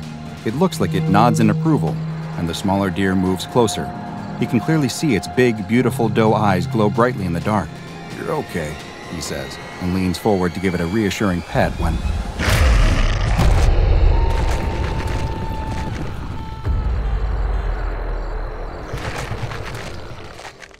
Following the mysterious disappearances of multiple people in an area of West Virginia near the town of Harper's Ferry, the SCP Foundation soon became interested in a particular stretch of road where it appeared that many of those who had gone missing had traveled just prior to their vanishing. Agents were dispatched to the area and immediately detected high levels of thaumaturgic energy, with the epicenter appearing to be on a plot of privately owned land. Investigation of local records revealed that the land was owned by a man named Richard Redkin. The Foundation staff contacted Mr. Redkin under the guise of being federal agents investigating a crime that had been committed on the property while he was away. Mr. Redkin happily cooperated with the agents, explaining to them that he had never experienced any abnormal events on the property while he was living there, but that he had not resided on the land for some time. Strangely, he claimed to not know the road as Wagriwa Road, insisting that as far as he knew, it had never had an official name, being nothing more than a long driveway out to his property. When asked if he could remember anything else abnormal about the location, he told the agents no, but that his daughter had written many fictional stories about strange happenings on the land, and perhaps those had somehow turned into rumors and then urban legends, though that was a long time ago. When the agents requested to meet with the daughter, he explained that it was impossible. She had drowned many years prior in the nearby Shenandoah River.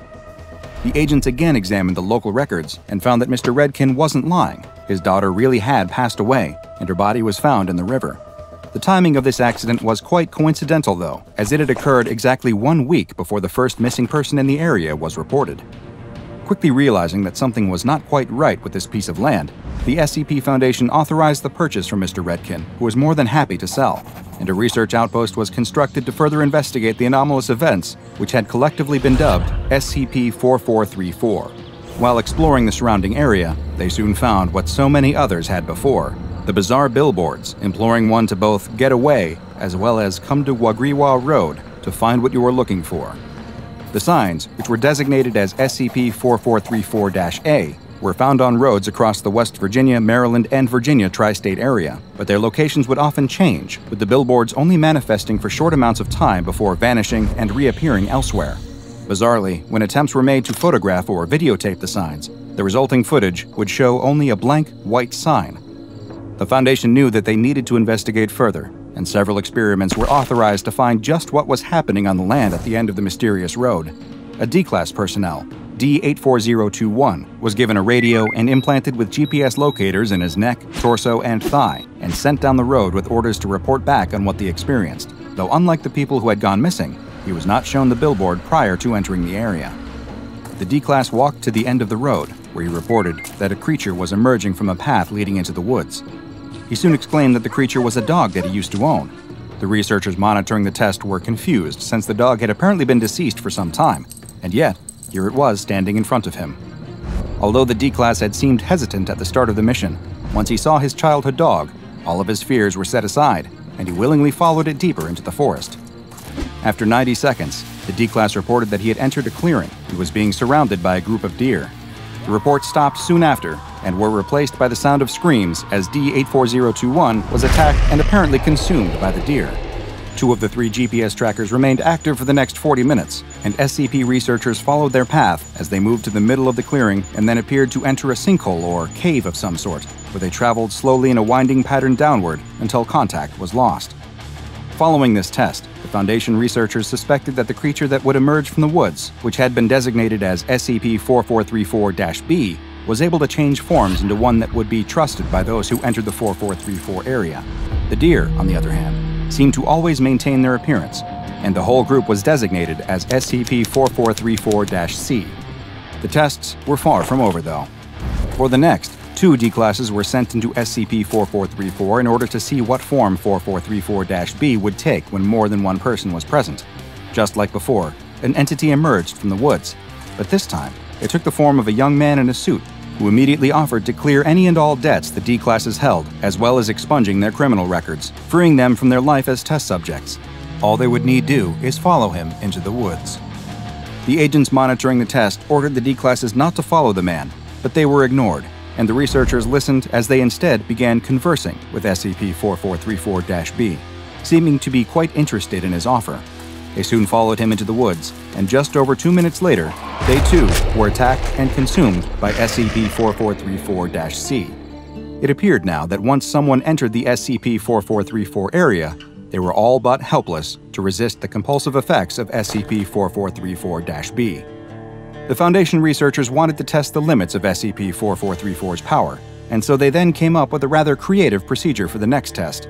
Another D class personnel was sent down the road, but this one was wearing a body harness that was connected to a pulley system, as well as being equipped with a camera. He was ordered to wait at the edge of the SCP 4434 area until the 4434 B entity appeared. The entity soon emerged, taking the form of a middle aged woman. As soon as the D class was seen conversing with the entity and agreed to follow it, the pulley was engaged in order to forcibly pull him out of the area. This was followed by an entirely unexpected event the middle aged woman quickly produced a knife and, with a supernatural speed, severed the rope on the pulley system. The now free D class stood up, followed the woman into the woods, and was consumed soon after. The researchers were growing frustrated with their lack of advancement in understanding the anomaly, and so for the fourth test, they decided to take quite extreme measures. A drone was used to fly over the area, which identified the mouth of the cave that the GPS trackers had been taken into.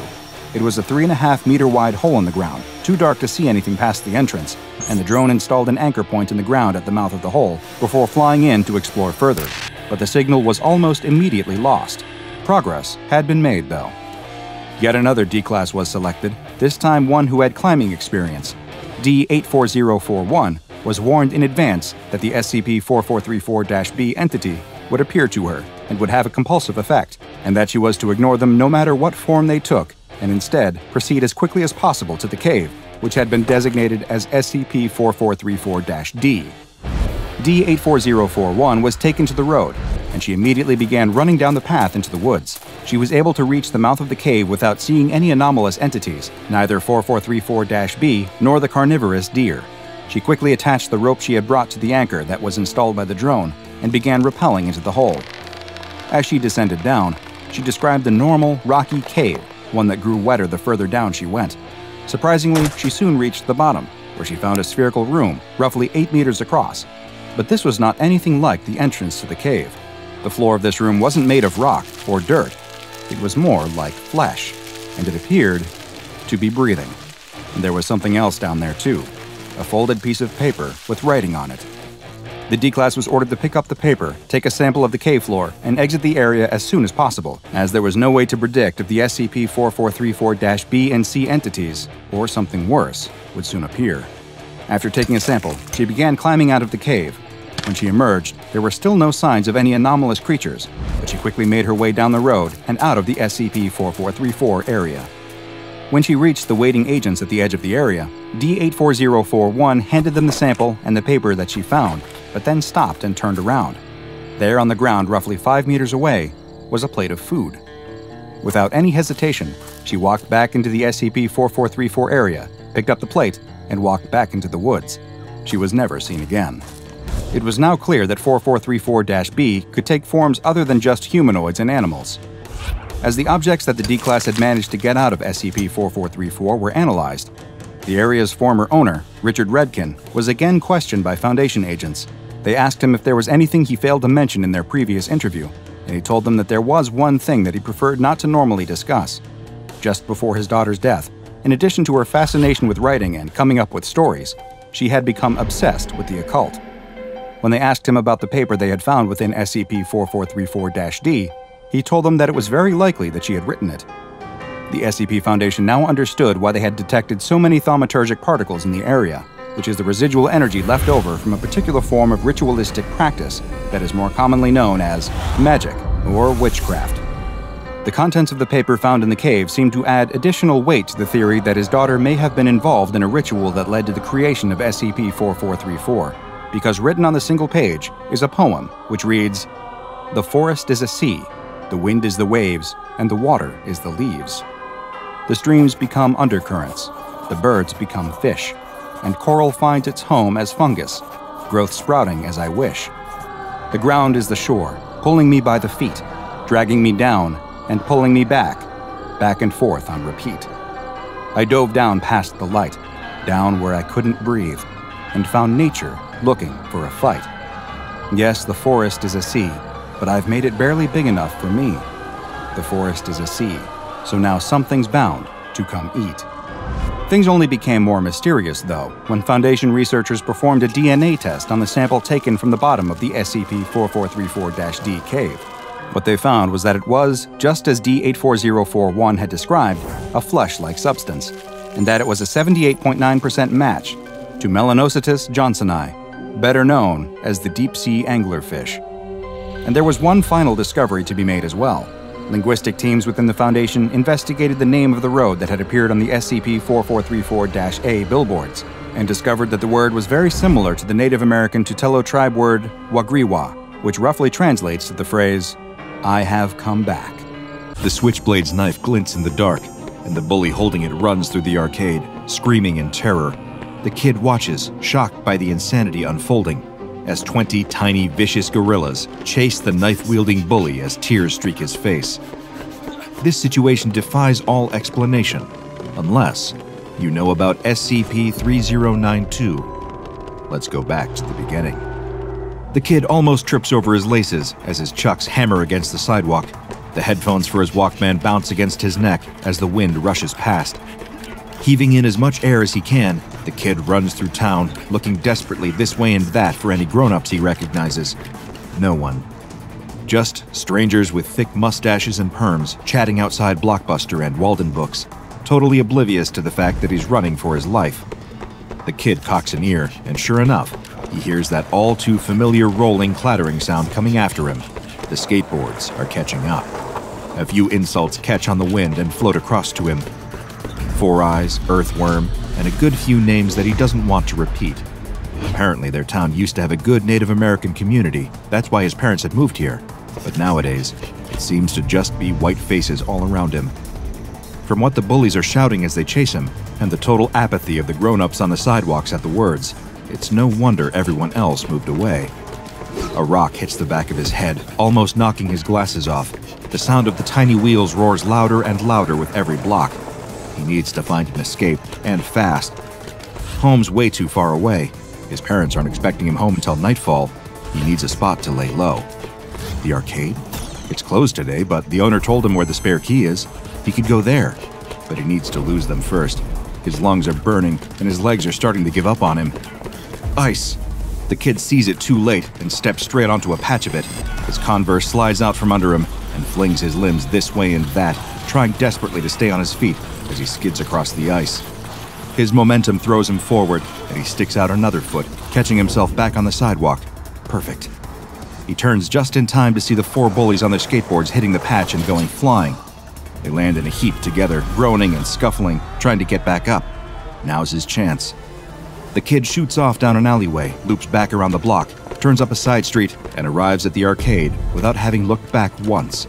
He snatches the key from under the gutter and looks around the quiet street. Nobody there, thank goodness. He darts through the door and locks it behind him with trembling fingers. Tears flood his eyes as he lets his forehead rest against the door. Every day, every damn day, it's more of the same. Why can't he just have some peace? Why can't he just be normal? The kid stands there crying for a long time. He can't tell his parents what's going on. They've got enough of their own problems. He tried to tell his teachers, but at lunch, he overheard them laughing and joking about it all between themselves. It just sometimes feels like no one's on his side. The kid takes a deep breath and rubs the moisture out of his eyes.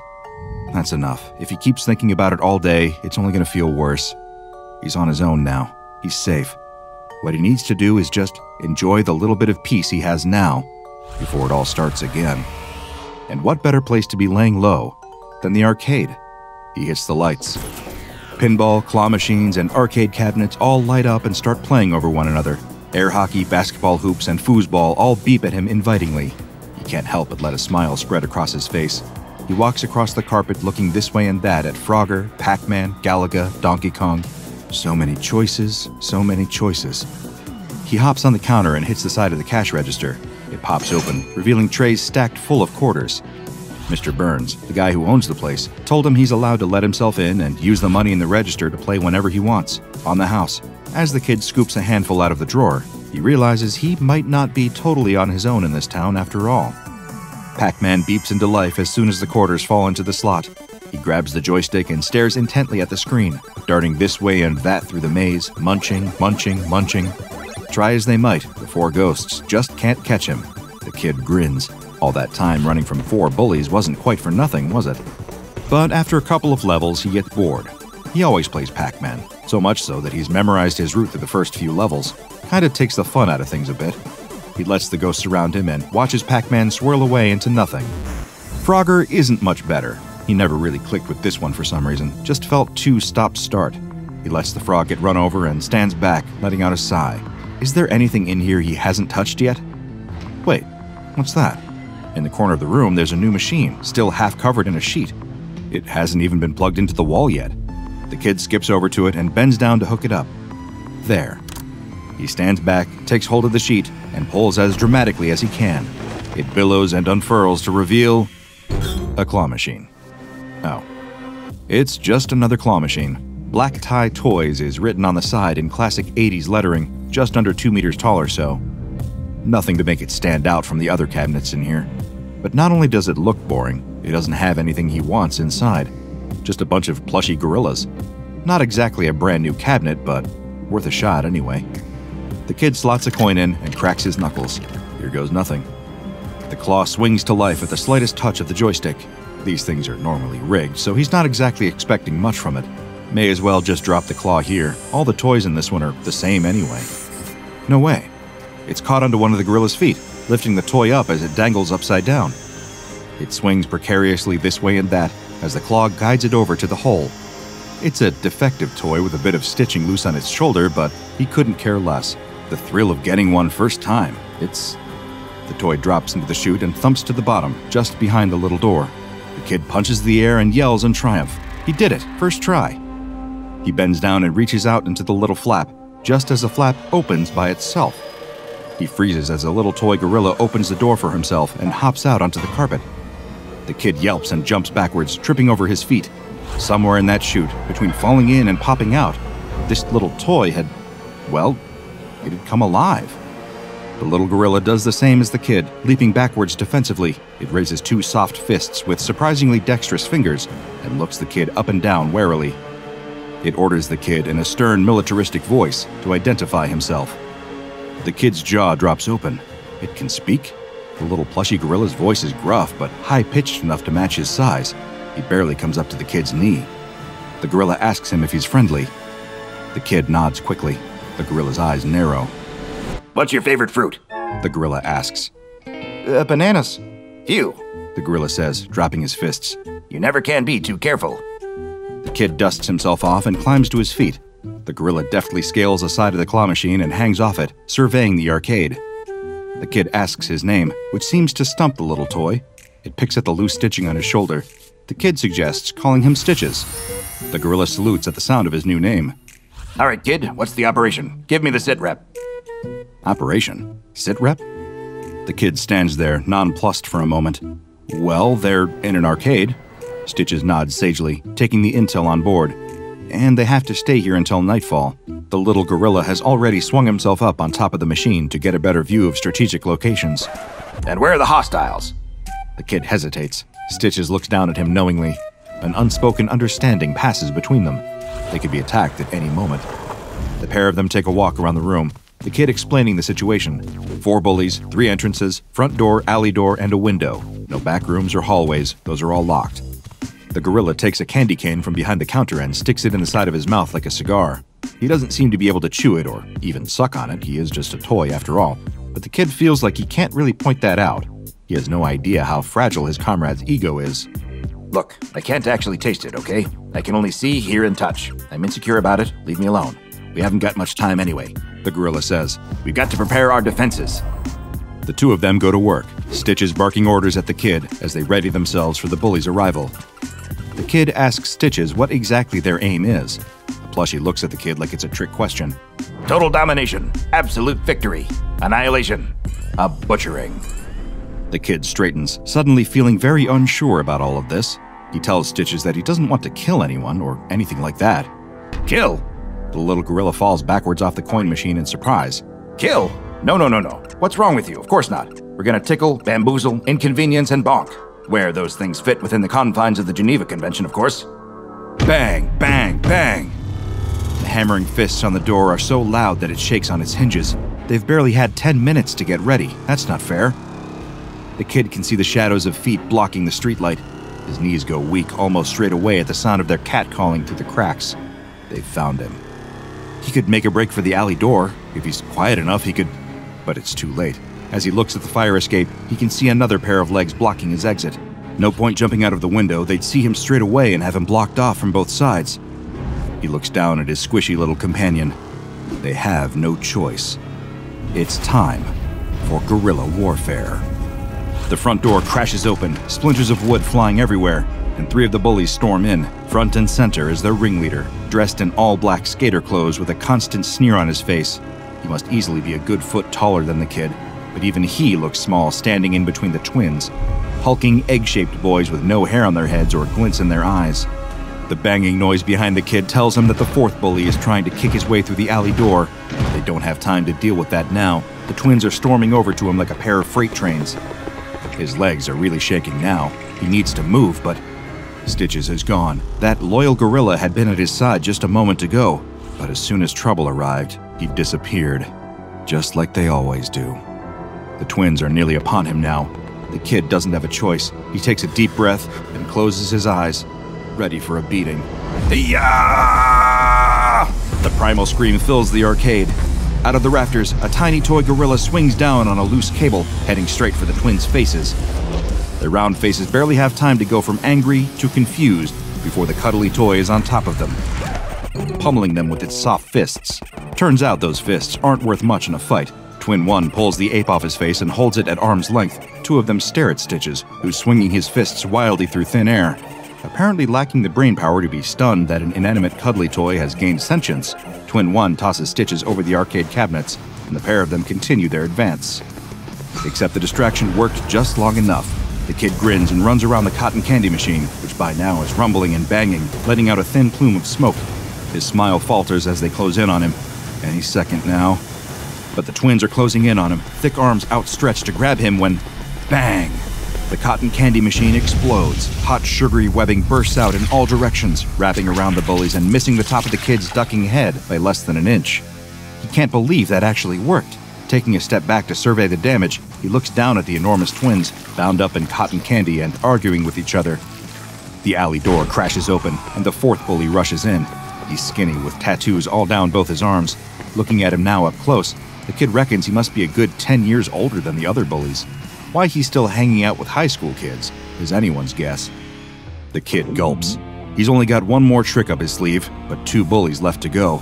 The ringleader's disappeared somewhere. He can't worry about that now, though. He just has to focus on the old one. The man is leering at him from the back of the arcade. He reaches round to his back pocket and pulls out something small and shiny. Flicking open the knife blade, he spins the blade around between his fingers and winks at the kid. He feels all the blood leave his face. This isn't a game anymore.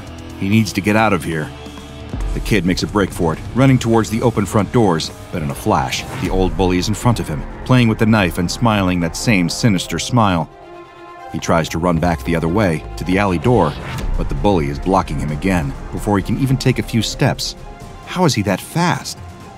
Be calm, be calm. Think. The kid reaches into his pocket. Here goes nothing.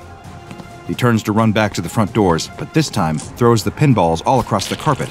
For a second, it looks like it hasn't worked. The old bully steps in the gaps between the pinballs. He looks down to see them all there scattered around in front of him, but too late. His foot is already landing on about five metal balls that all shoot out from under him. He goes flying, crashing right into a Galaga machine head first. His leg twitches a couple times, and he goes still. The knife flies out of his hand, arcing through the air, spinning round and round and round, before landing with a gentle thud on the soft carpet. A sneaker treads onto the handle, a sneaker attached to a hairy leg sticking out of a pair of cord pants. The ringleader bends over to pick up the blade, flicks it open, and holds it against the neck of the little gorilla clutched in his arms.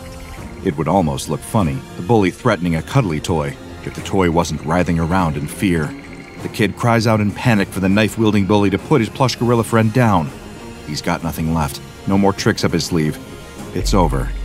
The bully just grins maniacally at him and pushes the knife harder against the squishy neck. He's got stitches by the shoulder of his arm, just above where the stitching is coming loose. The bully's back is to the cash register. On the wall behind him, dozens of giant cuddly prizes hang lifeless. The bully hisses that the kid is gonna pay for making them run all over town. The kid nods his head. He will, he promises. They can beat him up or whatever they like, just don't hurt Stitches. The bully laughs at the gorilla's name. You gave him a name? You're such a loser. Couldn't come up with anything better than Stitches. What does that name even mean? Let me show you. The gorilla yells. Twisting away from the blade, he reaches into the gap in his shoulder, crying out in pain, and pulls out handfuls of stuffing, throwing them up into the bully's face. It doesn't do much, but it's enough to distract him. The kid seizes his chance, dashing forward and shoving the bully square in the chest, knocking him backwards and freeing Stitches. The little gorilla runs off to safety straight away. The kid can hardly believe what he's seeing. The bully is getting to his feet now, knife still in hand, snarling, but almost immediately, his snarling is drowned out by the sound of a shrieking primate, then another one. Both kid and bully wheel round to see Stitches swinging across the wall of stuffed toys, giving them high fives. As soon as he touches each of them, they transform, falling and turning into crazed gorillas, all of them rushing straight at the bully. His eyes widen in terror. He turns on his heel and runs out through the open doors, pursued by a small army. He lashes out wildly as he goes, striking one of the gorillas down. Stitches and the kid chase him to the doorway and watch as the little toy gorillas chase the bully off into the night, swinging on lampposts and leaping over cars. Good thing he ran. Stitches climbs up onto the kid's shoulder, popping his candy cane cigar back into his mouth. Our fists are about as hard as Hello Kitty's. Let's see how long it takes him to figure that one out. A whimper behind them sobers the moment. Turning around, they see the body of the gorilla toy that the bully punched as he left. It lies slumped on a pinball machine, stuffing bursting from its chest. Plumes of cotton cover the glass. Stitches buries his head in the kid's neck, sickened and devastated by the casualty. The dying gorilla looks at him with beady little eyes. It raises a dramatic hand towards him, breathing in shaky gasps. Uh, Mr. Stitches, I don't feel so good. Like a community theater actor doing Shakespeare, the little toy dies a dramatic death. Throwing his head back, he takes one desperate gasping breath and falls still. The kid stands there in shock, except the little gorilla does seem to be breathing very lightly, as if pretending he's dead. The kid sidles up to the cabinet and pokes him. Hello? He pokes the gorilla again. It opens one eye and looks at him, annoyed. I'm out of the game. Leave me alone. Stitches hits the kid on the side of the head. Hey, let him be out of the game in peace. Show some respect. Uh, sorry. The kid clasps his hands together in humility and stands by the pretend dying gorilla. Stitches salutes. Until they get bored and go off to play a game of Galaga.